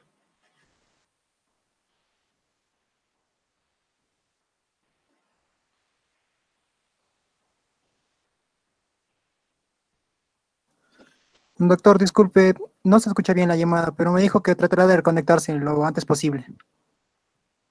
Y si no, lo dejamos para, ¿cómo se llama? Al último, no hay ningún problema. Paso al, siguiente, ¿sí? Sí, doctor, gracias. Sí, sí, entonces pasaríamos al Anco Chambi Cintia. Sí, doctor, ¿me escucha? Le escucho. Eh, ya, doctor. Eh, eh, bueno, eh, la pregunta 3 eh, te menciona, establezca el mayor número de diferencias posibles entre diabetes tipo 1 y la diabetes tipo 2. Eh, bueno, primeramente la edad de inicio. En la diabetes tipo 1 vamos a ver que generalmente su, edad de inicio es a nivel, en la edad infantil y en la diabetes tipo 2 en la edad adulta. también el tipo de inicio. La diabetes tipo 1, su tipo de inicio va a ser abrupto, más bien en la diabetes tipo 2 es gradual. ¿Por qué en la diabetes tipo 1 es abrupto? Bueno, eh, vamos a ver más adelante, ya lo voy a explicar. En la diabetes tipo 1 va a haber una destrucción absoluta de lo que viene a ser a nivel de las células beta de páncreas. Eh, por ende, eh, su tipo de inicio también por se le considera que puede ser abrupto. Y mientras que en la diabetes tipo 2 más bien va a haber como una resistencia a la insulina en su, en su etapa inicial, por ende también es gradual. Ahora, con respecto a la cetoacidosis, vamos a ver que en la diabetes tipo 1 va a ser frecuente y es una de sus características. Y en la diabetes tipo 2 vamos a ver que va a ser un poco infrecuente. En la diabetes tipo 1, ¿por qué la cetoacidosis es frecuente? Porque, por la misma razón, porque va a haber una destrucción absoluta de las células beta y no va a haber eh, un, medio de, recompensa, podría decirse. Y en, la diabetes tipo 2 va a ser infrecuente porque mayormente se inicia con una resistencia, como mencioné. Ahora, el peso habitual en la diabetes tipo 1 va a ser eh, normal, mm, aunque puede haber una frecuente pérdida ponderal. Y con respecto a la diabetes tipo 2, eh, es está normalmente acompañada con un factor de riesgo que puede ser el sobrepeso o la obesidad. Ahora, en antecedentes familiares vemos que la diabetes tipo 1 se presenta, pero son poco frecuentes y más bien en la diabetes tipo 2 vamos a ver que es muy frecuente. inclusive en la diabetes tipo 2 va a ser, hay más del 30% y en la diabetes tipo 1 más de 10%. Ahora, asociación al HLA, que es el antígeno leucocitario humano. Este, eh, la diabetes tipo 1 sí va a estar muy relacionada, inclusive su fisiopatología va a estar muy, muy relacionada a este, y en la diabetes tipo 2 eh, no va a estar relacionada. Ahora, con eh, respecto a las lesiones del islote, ¿no? vamos a ver que en la diabetes tipo 1 va a ser tempranas, mediada por la inflamación y tardías por la atrofia y las fibrosis, mientras que en la diabetes tipo 2 va a ser más tardías, ya en la fibrosis y la amiloide las células beta en la diabetes tipo 1 va a ser absolutamente reducida y en la diabetes tipo 2 vamos a ver que se puede encontrarse normal o ligeramente reducido. en la insulina circulante también en la diabetes tipo 1 se va a encontrarse eh, notablemente reducida y en la diabetes tipo 2 puede estar elevado o normal. Ahora, en el manejo clínico, en la diabetes tipo 1 se, hace, bueno, se va a necesitarse sí o sí, podría decirse, el uso de la insulina, ya que va a haber una destrucción completa de lo que vendría a ser las células beta de páncreas. A su vez, en la diabetes tipo 2 nos menciona que puede ser necesaria la insulina, pero ya en etapas posteriores o en etapas avanzadas. Y mayormente se va relacionada en su manejo clínico en la diabetes tipo 2 con la pérdida de peso, la, el cambio de la calidad de vida, ¿no? Eh, en la diabetes tipo 1 también se puede prevenir, ahí no se puede prevenir y en la diabetes tipo 2 sí. Ahora, con respecto al control de la glucemia en sangre, en la diabetes tipo 1 se debe realizarse diariamente y en la diabetes tipo 2 periódicamente. El control de la presión arterial, el control también del colesterol, eh, se debe realizar en ambos, en la diabetes tipo 1 y la diabetes tipo 2. Y también las asociaciones a otras enfermedades, eh, puede ser dislipidemias, hipertensión arterial, en la con respecto a la diabetes tipo 1 va a ser poco frecuente y con respecto a la diabetes tipo 2 va a ser muy frecuente y más que todo, ¿no? Con la obesidad, que es uno de sus factores de riesgo. Ahora, eh, bueno, eso sería, doctor, con respecto a las diferencias.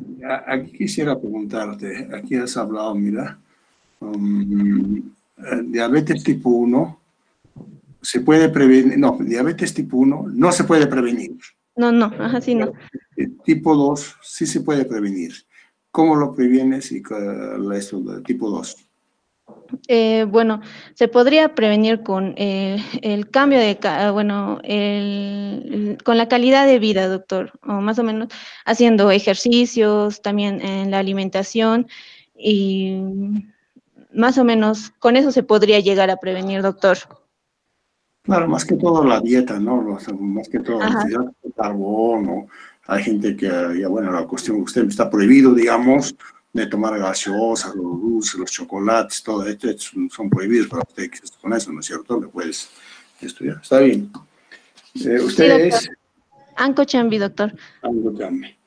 Ya, sí, doctor, ah, solo quería decirle que sí, en Juliaca está lloviendo muy fuerte y muchos hemos tenido problemas con respecto a la conexión de internet. ¿Es una granizada qué es? Sí, está cayendo mucha, mucha lluvia con granizada y truenos. Ya que usted me habla de Juliaca, ¿y cómo está con el COVID? ¿Cuántos mueren por día? Aproximadamente. Mm, por día, doctor, eh, eh, bueno, lo que vi es, estaban muriendo casi más de, eh, más de 100, más de 20, más de 30 personas al día, doctor. ¿Por día? Si es así, se va a acabar toda esa población de Juliaca, ¿ve? Bueno, la, última vez que vi, doctor, se murió algo de, de 10, 10 casos, o 10 personas, perdón, se vieron. Pero esto, ¿a qué se debe más o menos, pues? Es que parece que en Juliaca pues, la cuestión no hacen una buena educación sanitaria o son un poco más indisciplinados, ¿no? Más que todos los comerciantes, ¿o no? Mm, es que sí, doctor, en Juliaca es más, más, más que todo el comercio. Y bueno, como que están en cambio también de, dinero, en, ¿no? En cambio entre personas en dinero, es más el comercio. Y bueno, entre ellos mismos ya es, la educación sanitaria también ya, ya es deficiente también, doctor. Y, pero, y no se puede dar una educación, aunque sea la cuestión todos los días, ya sea por la radio, ya sea por la tele, toda la cuestión, que, cómo utilizar su mascarilla, cómo lavarse, o al recibir el dinero, cómo desinfectarlo, todo, no se puede, no, no, no me entienden casi fácilmente, ¿qué? Mm, sí, doctor, bueno, sería una buena idea hacer esas, esas, esas estrategias, pero eh, bueno, creo que no hay este, ah, bueno, participación sobre eso para hacer esa concientización. Bueno, pues sí, bueno, la suerte. Es lo que está bueno, también Pedro Juliaca aquí ha ingresado, pues aquí también han muerto cantidad de gente en los hospitales.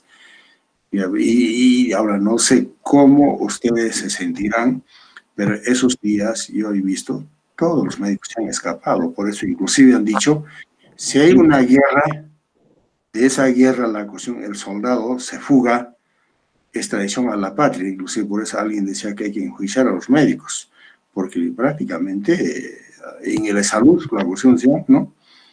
de que, digamos, entraban y decían de lejos nomás, eh, aquello es tu cama la acción. Y la cuestión de lejos, la enfermera creo que le daba la historia clínica, escribían esto, esto, esto, esto, y se acercaban a la cuestión. Parece que morían. Aquí en Núñez Butrón también la cuestión, toditos se han fugado. Algunos se han fugado a sus casas, otros, bueno, la cuestión por querer ganar, en alguna clínica se han ido, en esa clínica también se han infectado, pero ha, habido de todo. Otros decían ya la cuestión, ya, ya, mejor ya no quiero ser médico, la cuestión no sé de todos los médicos cuántos no se retirarán, qué harán la cuestión, no sé si a ustedes eso les ha chocado o no. Realmente decir ya estoy estudiando medicina, tantos años he perdido, me retiro, mejor cambio de profesión o continúo, no sé cómo estará la cuestión, pero se ha visto esas cosas, pues.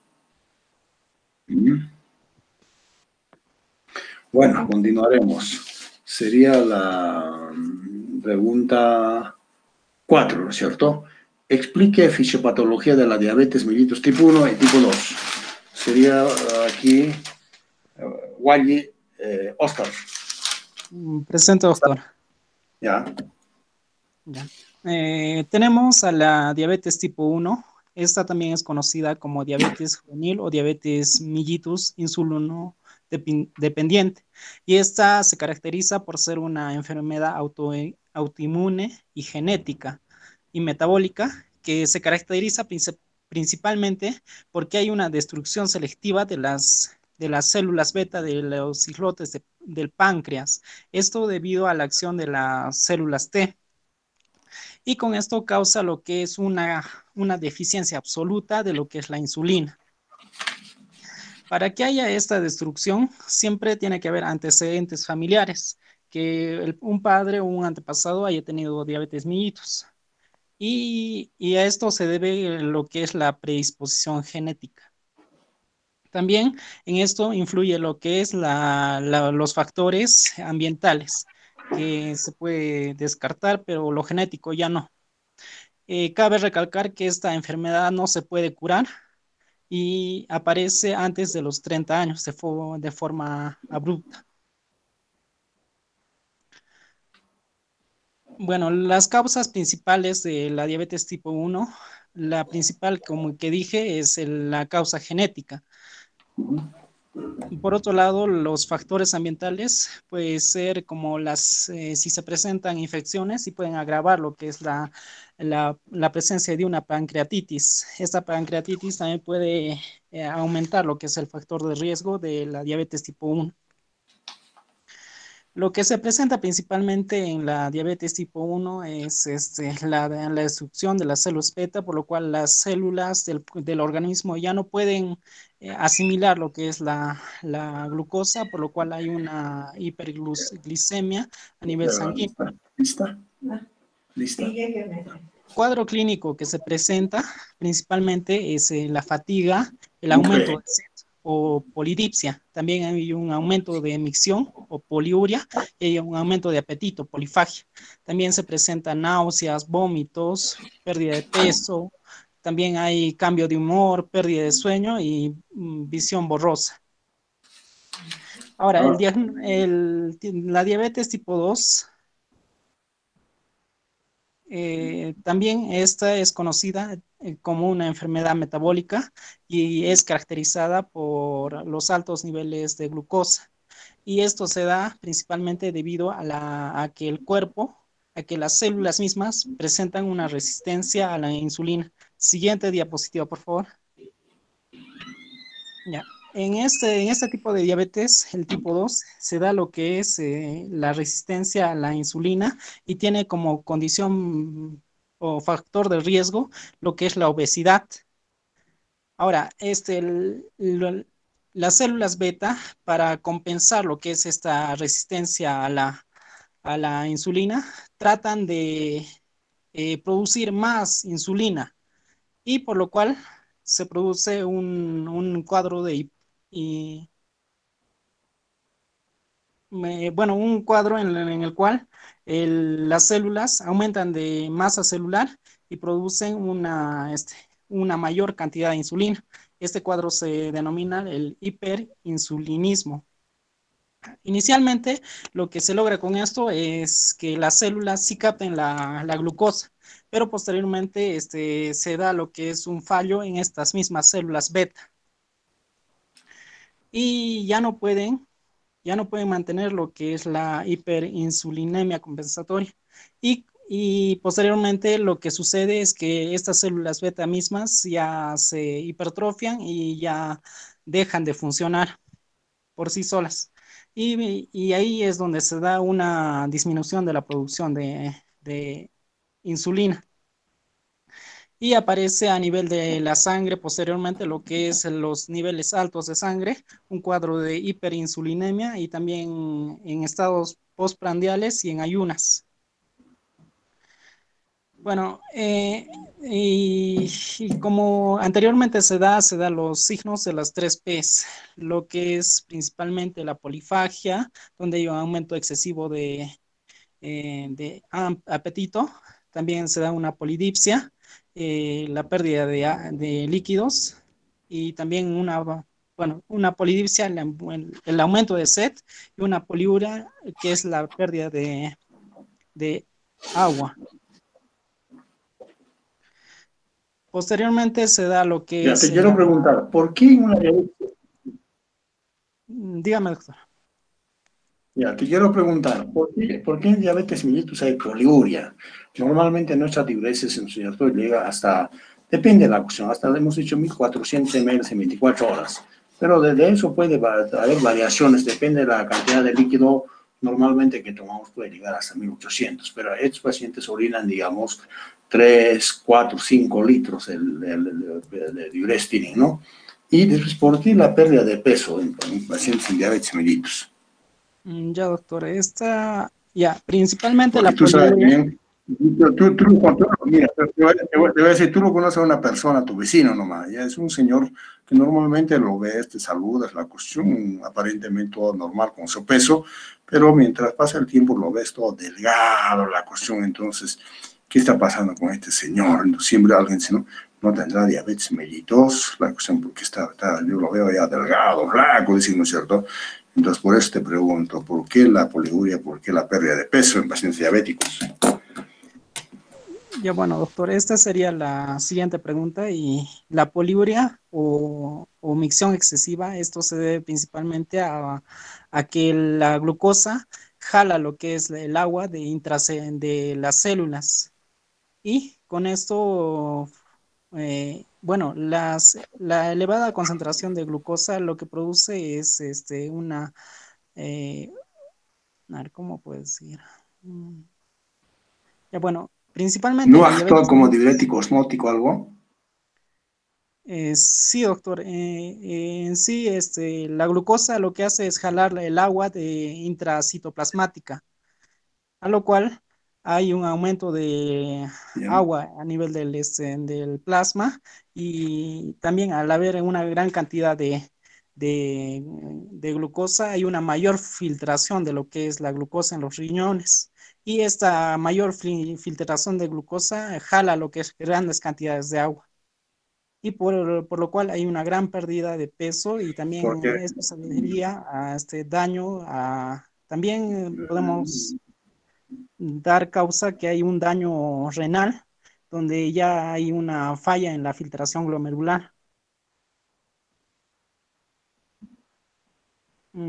¿Por qué te digo? Mira, el paciente diabético en la noche con, una, con su jarrita de agua duerme la cuestión, porque tiene sed, se estira y se toma la cuestión.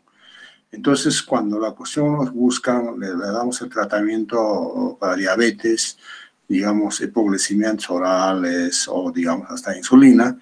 Entonces, eh, le, le, preguntas, digamos, al segundo o tercer día, ¿cómo está tu sed? Ya me ha bajado, dice. Entonces también de alguna manera la eh, hiperglicemia actúa como un diurético la cuestión. Entonces cuando ya normaliza, entonces ya no toman tanto, claro, tomarán lo necesario, ¿no? Entonces ese es el esto. Y ahora yo te pregunto, ¿por qué la pérdida de peso? ¿Dónde está el problema? Ya, la pérdida de peso principalmente se da que eh, las, las células, debido a que no, no bueno, su sustrato para la energía es la glucosa, pero una vez que se da la diabetes mellitus, las células no, bueno, la glucosa no puede ingresar a las células. Debido a eso, las células lo que hacen es utilizar los ácidos grasos y también los aminoácidos y lo convierten en glucosa para formar ATP. Y debido a esta célula de ácidos grasos, hay una, una una pérdida de grasa y proteínas a nivel del cuerpo. Eso sería una causa, doctor, y la otra sería debido a la deshidratación que presenta el paciente. Debido a la ahí participa también, claro. La ocasión, cualquier persona se deshidrata, ya sea por los vómitos, vómitos, vómitos o diarrea, y empieza a bajar de peso también, eso también participa también. Bueno, tú te llamas, tú te llamas uh, Oscar. Wally, ¿sí? Sí, doctor. Gracias. Ya, ¿de qué? Eh, la señorita Erika Enquilla sería la pregunta 6. ¿Qué complicaciones crónicas presenta el paciente del caso clínico o del caso clínico y cuál es la patología de cada uno de ellos? Bien, bien, doctor, eh, buenas tardes. Bueno, eh, las complicaciones eh, crónicas que suele presentar la diabetes se clasifican en dos, en microvasculares y macrovasculares. Dentro de las microvasculares están la nefropatía, la neuropatía y la retinopatía diabética. Lo que hemos podido notar que el paciente presenta es la neuropatía diabética y la retinopatía diabética. Ahora, en caso de las complicaciones macrovasculares, también tiene subtipos. Está la arteriopatía periférica, la enfermedad cerebrovascular, la cardiopatía isquémica y la miocardiopatía diabética. Y en caso del paciente lo que se ve es la arteriopatía periférica. Bueno, eh, tomando en cuenta estos, estas tres complicaciones, voy a pasar a describir la fisiopatología de cada una de ellas. En caso de la retinopatía eh, diabética, esta se trata de una enfermedad vascular degenerativa la anterior, por favor. Ya. Se trata de una enfermedad vascular degenerativa de la retina que es causada por un aumento anormal de la permeabilidad retiniana, formación de microaneurismas y neovascularización con hemorragia, cicatrización y desprendimiento retiniano asociado. Bien, ¿qué es lo que ocurre? Eh, debido a, la, que la concentración de glucosa se eleva, va, esto va a generar que la pared de los vasos sanguíneos se vuelva más permeable y más frágil. Esto también, a su vez, va a generar que haya escape de exudados al humor vítreo. Ahora, en estadios avanzados de la diabetes, lo que va a generar, lo que va a haber es la proliferación de nuevos y frágiles vasos sanguíneos. Esto va a generar hemorragias en el humor vítreo y esto es lo que va a generar la disminución de la visión. Dentro de los síntomas que, que se presentan en la retinopatía diabética están la visión borrosa, que vemos que el paciente presenta, la pérdida gradual de visión, las zonas de visión perdida y una mala visión nocturna. Siguiente, por favor. Bien, eh, también mencioné que se presentó, que se vio la neuropatía diabética. Este, esta, la fisiopatología de esta se da debido a, la alteración metabólica que es generada por la elevada concentración de glucosa, va a generar que haya una pérdida axonal de fibras provistas o no de mielina. Lo que lo primero que genera esta pérdida, pérdida axonal de fibras va a ser la polineuropatía simétrica difusa. Este va, esto es lo que principalmente afecta es a las extremidades de los miembros inferiores. También va a provocar síntomas sensoriales como los hormigueos, hiperestesia, quemazón, dolor o también síntomas motores como espasmos, fasciculaciones y calambres. O también puede presentar eh, acolchamiento e insensibilidad térmica o dolorosa. Ahora, después o a partir de la neuropatía simétrica difusa también puede presentar eh, se puede dar lo que es la neuropatía focal. Un tipo de neuropatía focal son las mononeuropatías, las mononeuropatías. Y en caso del paciente vimos que hay afectación de, eh, par craneal 2 y en este en el caso de, neuropatías, mononeuropatías, eh, se ve la afectación de un solo nervio, como se vio en el paciente. Bien, ahora, en caso de la arteriopatía periférica, eh, existen em, cinco causas, se podría decir, para que explican la, fisiopatología para que se dé la arteriopatía periférica. La primera es la alteración de la biodisponibilidad del óxido nítrico.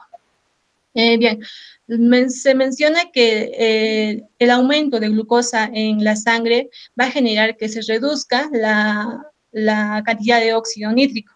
Esto se va a dar eh, por dos motivos. Uno, eh, que la glucosa va a disminuir o va a inhibir la oxidonítrico sintasa. Y también porque va a generar, porque va a haber un estrés oxidativo.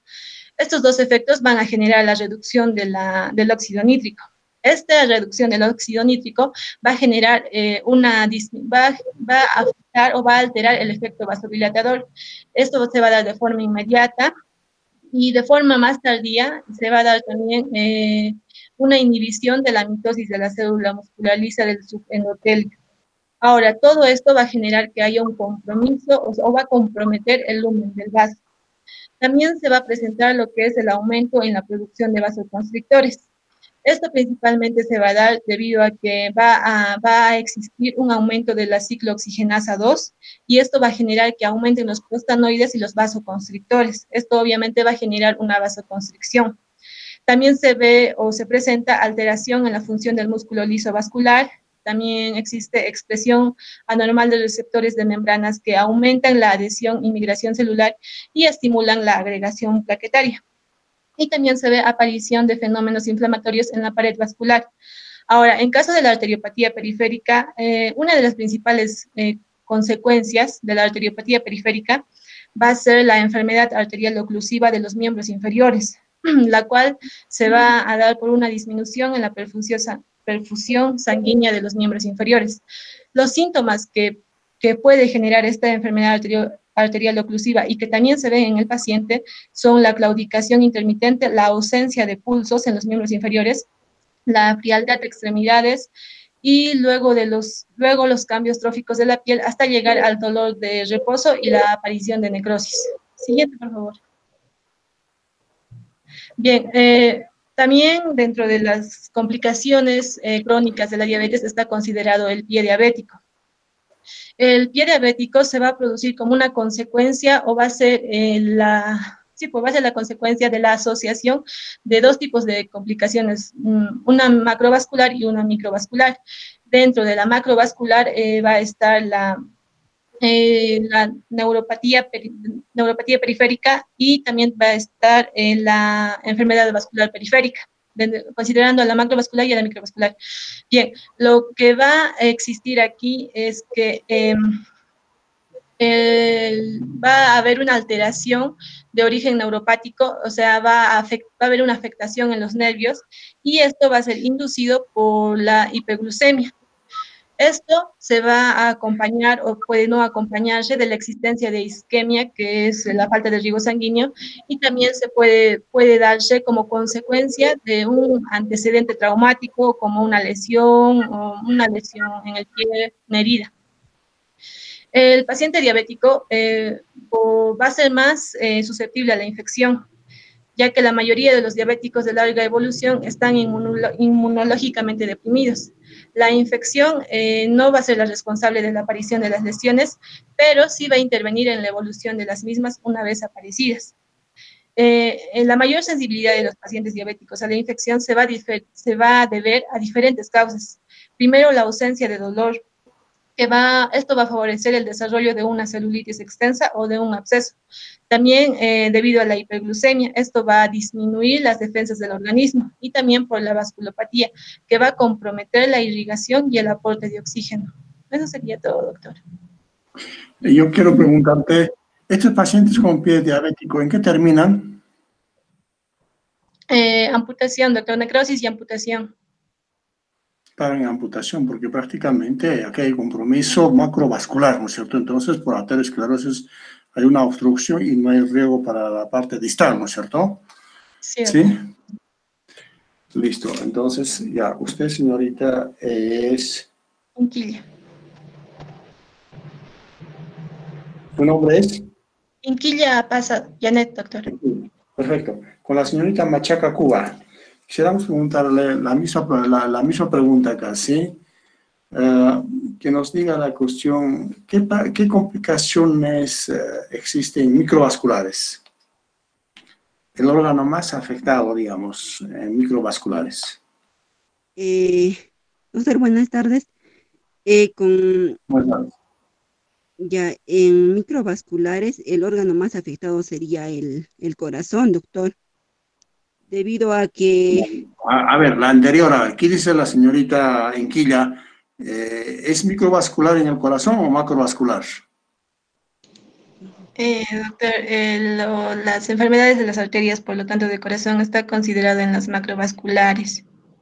¿No es cierto? Macrovasculares, donde hay ateroesclerosis, una obstrucción de las arterias coronarias, la ¿no? en forma progresiva.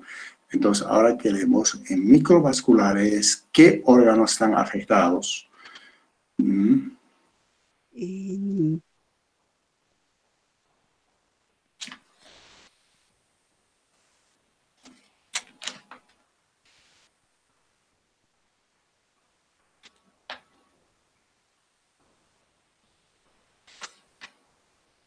En todo caso, doctor, sería, eh, por ejemplo, en el paciente del caso, em, la retinopatía que se, que se presenta. perfecto. Uno, dos. Mm, eh, también sería eh, las lesiones que se da en el, en el, riñón, las lesiones renales que se da. En el riñón la cuestión, la cuestión los, los glomerulosclerosis es esto. Por eso, todo paciente eh, que va a una insuficiencia renal, si no es diabetes, es hipertensión arterial. Todo el mundo cuida, digamos, su riñón, la cuestión de los diabéticos uno me decía, un empresario, la opción, mi hermana ha muerto con, con un problema renal, yo no quiero morir, ¿cómo quiero prevenir? ¿Qué debo hacer? Entonces ya pues la cuestión tienes que orientarle, ¿eres hipertenso? No sé, no tienes que ser hipertenso, la cuestión, y si es posible, si no es hipertenso, ya utilizamos, digamos, como prevención uh, los inhibidores YECA la cuestión, entonces ya utilizan todo el resto del control, tienes que controlar tal cosa, entonces eso son los hechos. Y siempre todo paciente diabético, va a terminar la cuestión con una insuficiencia renal. O si, si vas al hospital, la cuestión donde están haciendo diálisis, hemodiálisis, son diabéticos o pacientes hipertensos. Paciente hipertenso, pero algunos prácticamente no, no han utilizado el medicamento.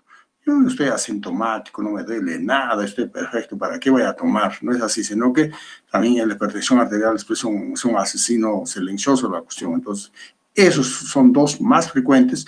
Claro, otras causas hay, pero menos frecuentes, pero esos dos la cuestión. Si no es diabetes, hipertensión, aparece en la cuestión con su problema de la insuficiencia renal. Ya están en hemodiálisis, algunos se dan ya la cuestión trasplante renal, es lo que están llamando. Ya, perfecto. Mm, ahora preguntaremos, Mamani Vargas. Para Mamani Vargas sería, uh, explique la relación existente entre diabetes y la hipertensión arterial y la, y arteriosclerosis.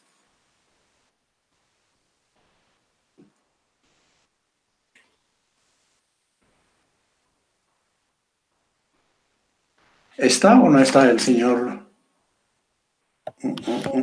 Mamani Sea? Mamani Vargas, perdón. Mm, doctor, el compañero Mamani Vargas está en sala, acaba de salir y tiene problemas con la conexión. No sé si lo puede aceptar, doctor. Está en sala de espera. Entonces pasaremos. No, doctor, está en sala de espera el compañero Mamani Vargas.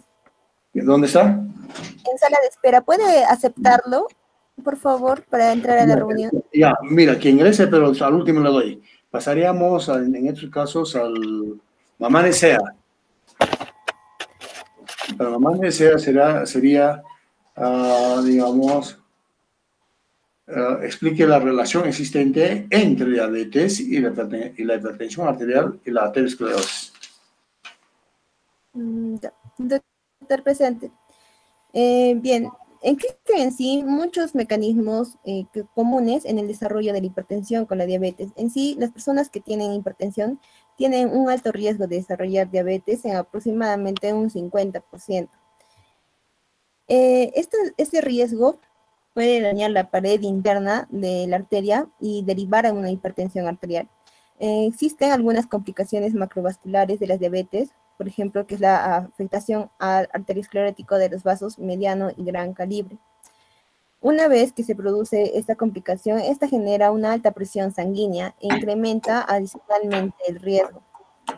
Ahora, los niveles de glucosa elevados en sangre también pueden generar eh, arteriosclerosis, pero previamente la formación de placas, que si sabemos cuando estas se rompen, pues pueden generar trombos, ¿no? Y de esta manera también complicar ya mucho más lo que es la hipertensión arterial. Eh, también, muy aparte de la, formación de trombos, esta se, se, da por las paredes internas de los vasos sanguíneos, lo cual disminuye su elasticidad. Y eso es todo.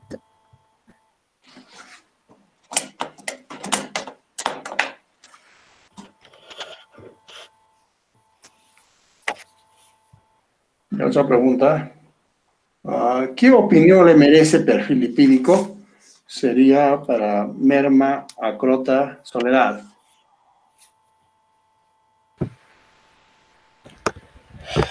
Eh, ya, eh, Mm, bueno, en la pregunta 8, eh, vamos a ver que en el caso clínico, si observamos los datos,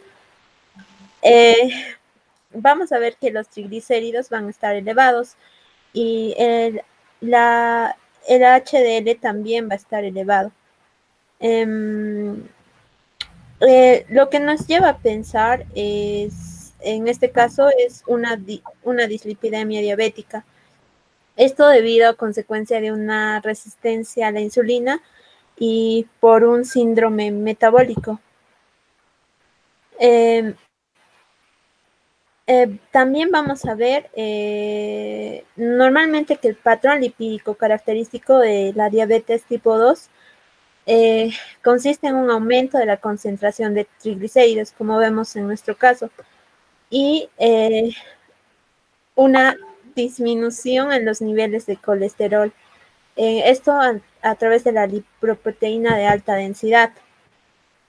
Em, entonces, eh, las concentraciones de colesterol total eh, van a ser transportados ¿no? por las proteínas de baja densidad. Y estas no, solo, no suelen estar aumentadas, aunque también vemos en que en pacientes diabéticos hay un predominio de las, eh, de las partículas LDL, eh, tanto pequeñas y densas. Mm.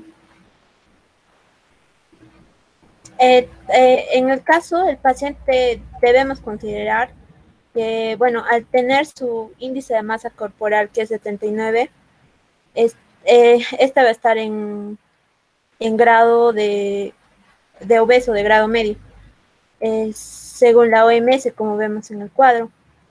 Em, el aumento del IMS se asocia con mayor riesgo a sufrir diabetes, así como eh, en este caso em, alguna otra enfermedad.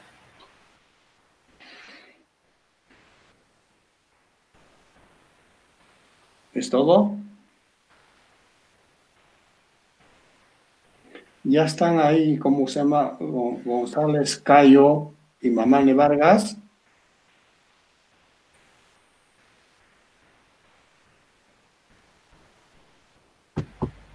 ¿Aló? ¿Ya están aquí?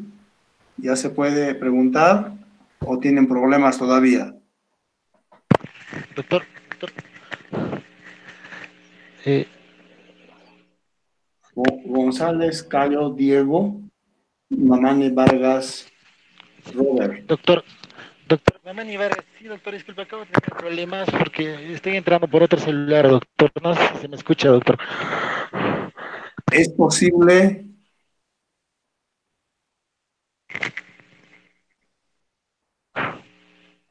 Eh, doctor, disculpe, no, no le escucho, no sé si me escucha, doctor. No, no escuchas. Eh, sí, ahorita, acabo de escucharlo, doctor, pero hace rato no le escuchaba. ¿No, ¿no se escucha? Eh, ¿Me escucha, doctor? Me escucho. Ya, sí, doctor, sí le escucho un poco, pero... Ya, ya, ya. Entonces la pregunta, la pregunta es lo siguiente. Eh, ¿Es posible? Ya, bueno, ¿con quién estoy hablando? ¿González o con Mamani Vargas? Mamani Vargas. No. ¿Y, ¿Y cómo es de González? Mamani Vargas, o nada? ¿Y González, Cayo, cómo está? no hay nada. Ya, entonces para mamá de Vargas, eh, en, un, en un paciente con diabetes mellitus tipo 2 ¿Cuáles son las opciones terapéuticas? Ya, doctor. Eh, bueno, espero que se me escuche. Bueno, eh, bueno para lo que es eh, para el tratamiento de la diabetes tipo 2, bueno, se aplican tanto medidas, bueno, farmacológicas como no farmacológicas. Bueno, todo esto tiene, resultado tiene esto como objetivo dar en la normalización de las concentraciones de glucosa como medio, por ejemplo, para prevenir las complicaciones tanto a corto plazo como a largo plazo. Ahora, vamos a ver que, bueno, todas estas metas que se quieren lograr básicamente es para, como habíamos dicho, el control de la glucemia, para mejorar la calidad de vida del paciente y también para reducir lo que es la morbilidad y la, mortalidad del paciente. Ahora, eh, como habíamos dicho, se usan tanto medidas farmacológicas, digo, farmacológicas como no farmacológicas. Dentro de las medidas eh, no farmacológicas tenemos, por ejemplo, donde se incluye lo que es el tratamiento médico-nutricional, el ejercicio y si, y si es necesario el tratamiento farmacológico con los fármacos hipoglicemiantes. Ahora, bueno, nos menciona, eh, que eh, a veces es solo necesario lo que es el tratamiento nutricional con el ejercicio, pero en caso de que esto no funcione, bueno, se aplica lo que es el tratamiento farmacológico. Y en los fármacos a aplicar, bueno, nos menciona que el principal fármaco y el de primera línea es eh, la metformina, la cual tiene como esto, bueno, lo que hace es que inhibe la síntesis hepática de glucosa, incrementa lo que es la sensibilidad a los tejidos periféricos a las acciones de la insulina. Es el primer fármaco de elección porque esta no causa, eh, por ejemplo, un efecto colateral como lo causaban anteriormente cuando se usaba, por ejemplo, para el tratamiento de la diabetes, las, eh, que son las eh, sulfonilurias, que estos producían esto, hipoglicemia como un efecto colateral. Bueno, en cuanto a la dosis, nos menciona que esta se recomienda una dosis inicial de 500 a 850 miligramos y posteriormente se bueno, se da eh, también en la misma dosis cada una o dos semanas de forma progresiva. Eh, también se pueden aplicar otros tipos de sulfonurias, como son la gliveclamina y la glivempirina.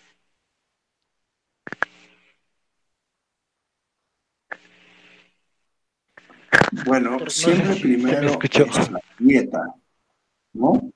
Sí, pero, pero primero, siempre primero es la dieta. Algunas veces su, su glicemia está ligeramente elevado o moderadamente, solamente con la dieta, la cuestión, ¿no? Lo de prohibir todos los azúcares, todo esto, su dieta, la cuestión, quitar un poco los hidratos de carbono, todo, e inclusive por esa razón dicen, el diabético, bueno, nosotros comemos tres veces al día nuestro desayuno, almuerzo, cena, el diabético puede comer hasta seis veces. Quizás, un, digamos, su, su, su, su desayuno no es suficiente la cuestión. Esto pueden tomar café con leche, con su tostadita, todo, su, mantequilla, su queso. Después un almuerzo, la cuestión, un plato ligero. Entonces ellos aumentan la cuestión, ya sea, digamos, más tarde, ¿no? También, claro, actividad física. Con eso no lo puedes controlar. Si ya no lo puedes controlar con todo eso o la glucosa sube más, entonces ya tienes que asociar ahí los, los, los la parte farmacológica, ya hay metformina u otros, entonces, o si no, si, si, si no controla, digamos, los, los fármacos como tipo las tabletas, entonces a la insulina lo pasamos, ¿cierto? Ya, hasta ahí la cuestión del esto, entonces tú eres listo, listo, ya. La última pregunta, ¿qué recomendaciones debe darse a un paciente diabético aparte de tratamiento medicamentoso? ¿Qué recomendaciones debe darse a un paciente diabético aparte de tratamiento medicamentoso? Está ya con tratamiento medicamentoso. Probablemente los hipoglicemiantes orales, ¿no? O, o, está con su insulina. Ahora sobre eso, ¿qué más le puedes recomendarle? Esto sería para terminarlo con Miranda Herrera. Eh, Disculpe, doctor, este, no me pude conectar. Soy González, doctor. Recién me pude conectar. Ya, entonces, ya. Eh, aparte del tratamiento farmacológico, doctor, también se recomienda para, más que todo para, para la diabetes, lo que vendría a ser a la alimentación y la actividad física.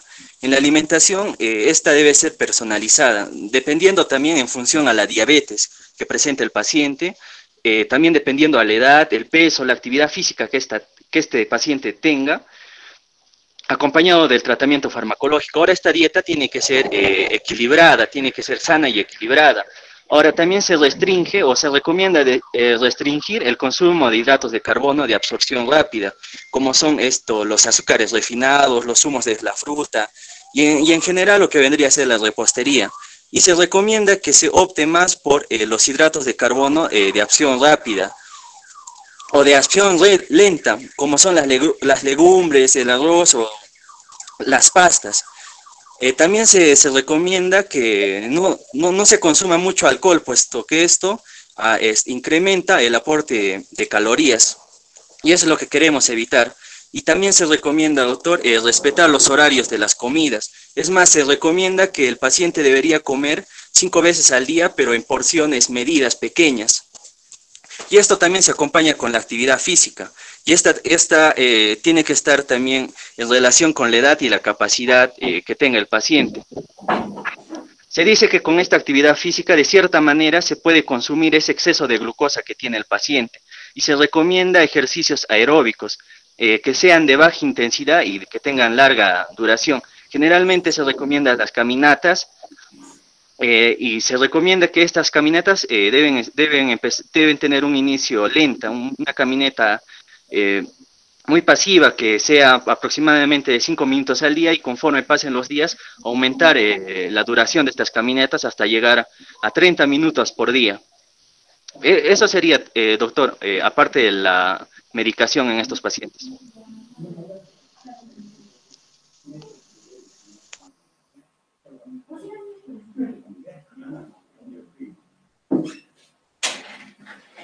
A ver, pues ya, perfecto. Eh, aquí nos faltaría una de sus compañeras, Merma Acrota Soledad. Sí, doctor, presente. ¿Usted no ha dado todavía, no? ¿Ha dado ya? Eh, sí, hablé sobre la... Ah, entonces, Miranda la cuestión, Miranda Herrera. A ver, ¿qué dice la cuestión de las... Uh, ahí, también, ¿no es cierto? Al, diabético le ponemos de frente, prohibido la cuestión tales, tales, tales, el azúcar gaseosa, chocolate, tata. Entonces, ahora, en cuanto a la, hay también frutas dulces, ¿no es cierto? Hay chirimoya, hay varias frutas dulces. ¿Qué dice al respecto de las frutas que, que tienen dulce? ¿Indicamos o no indicamos?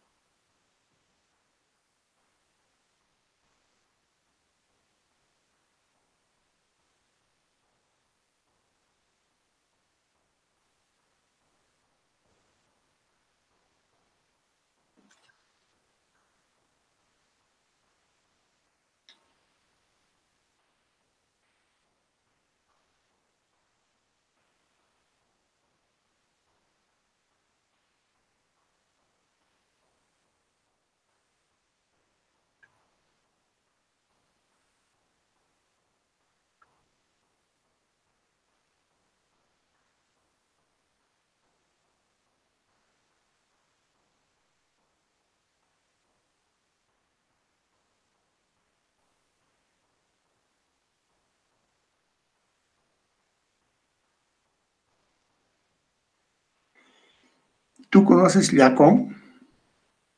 ¿O has escuchado hablar? Sí. Es, dulce, ¿no es cierto? Es dulce.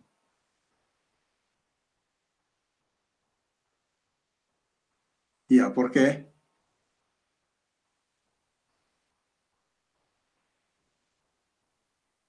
A ver, ¿qué dicen sus compañeros? Alguien, a ver.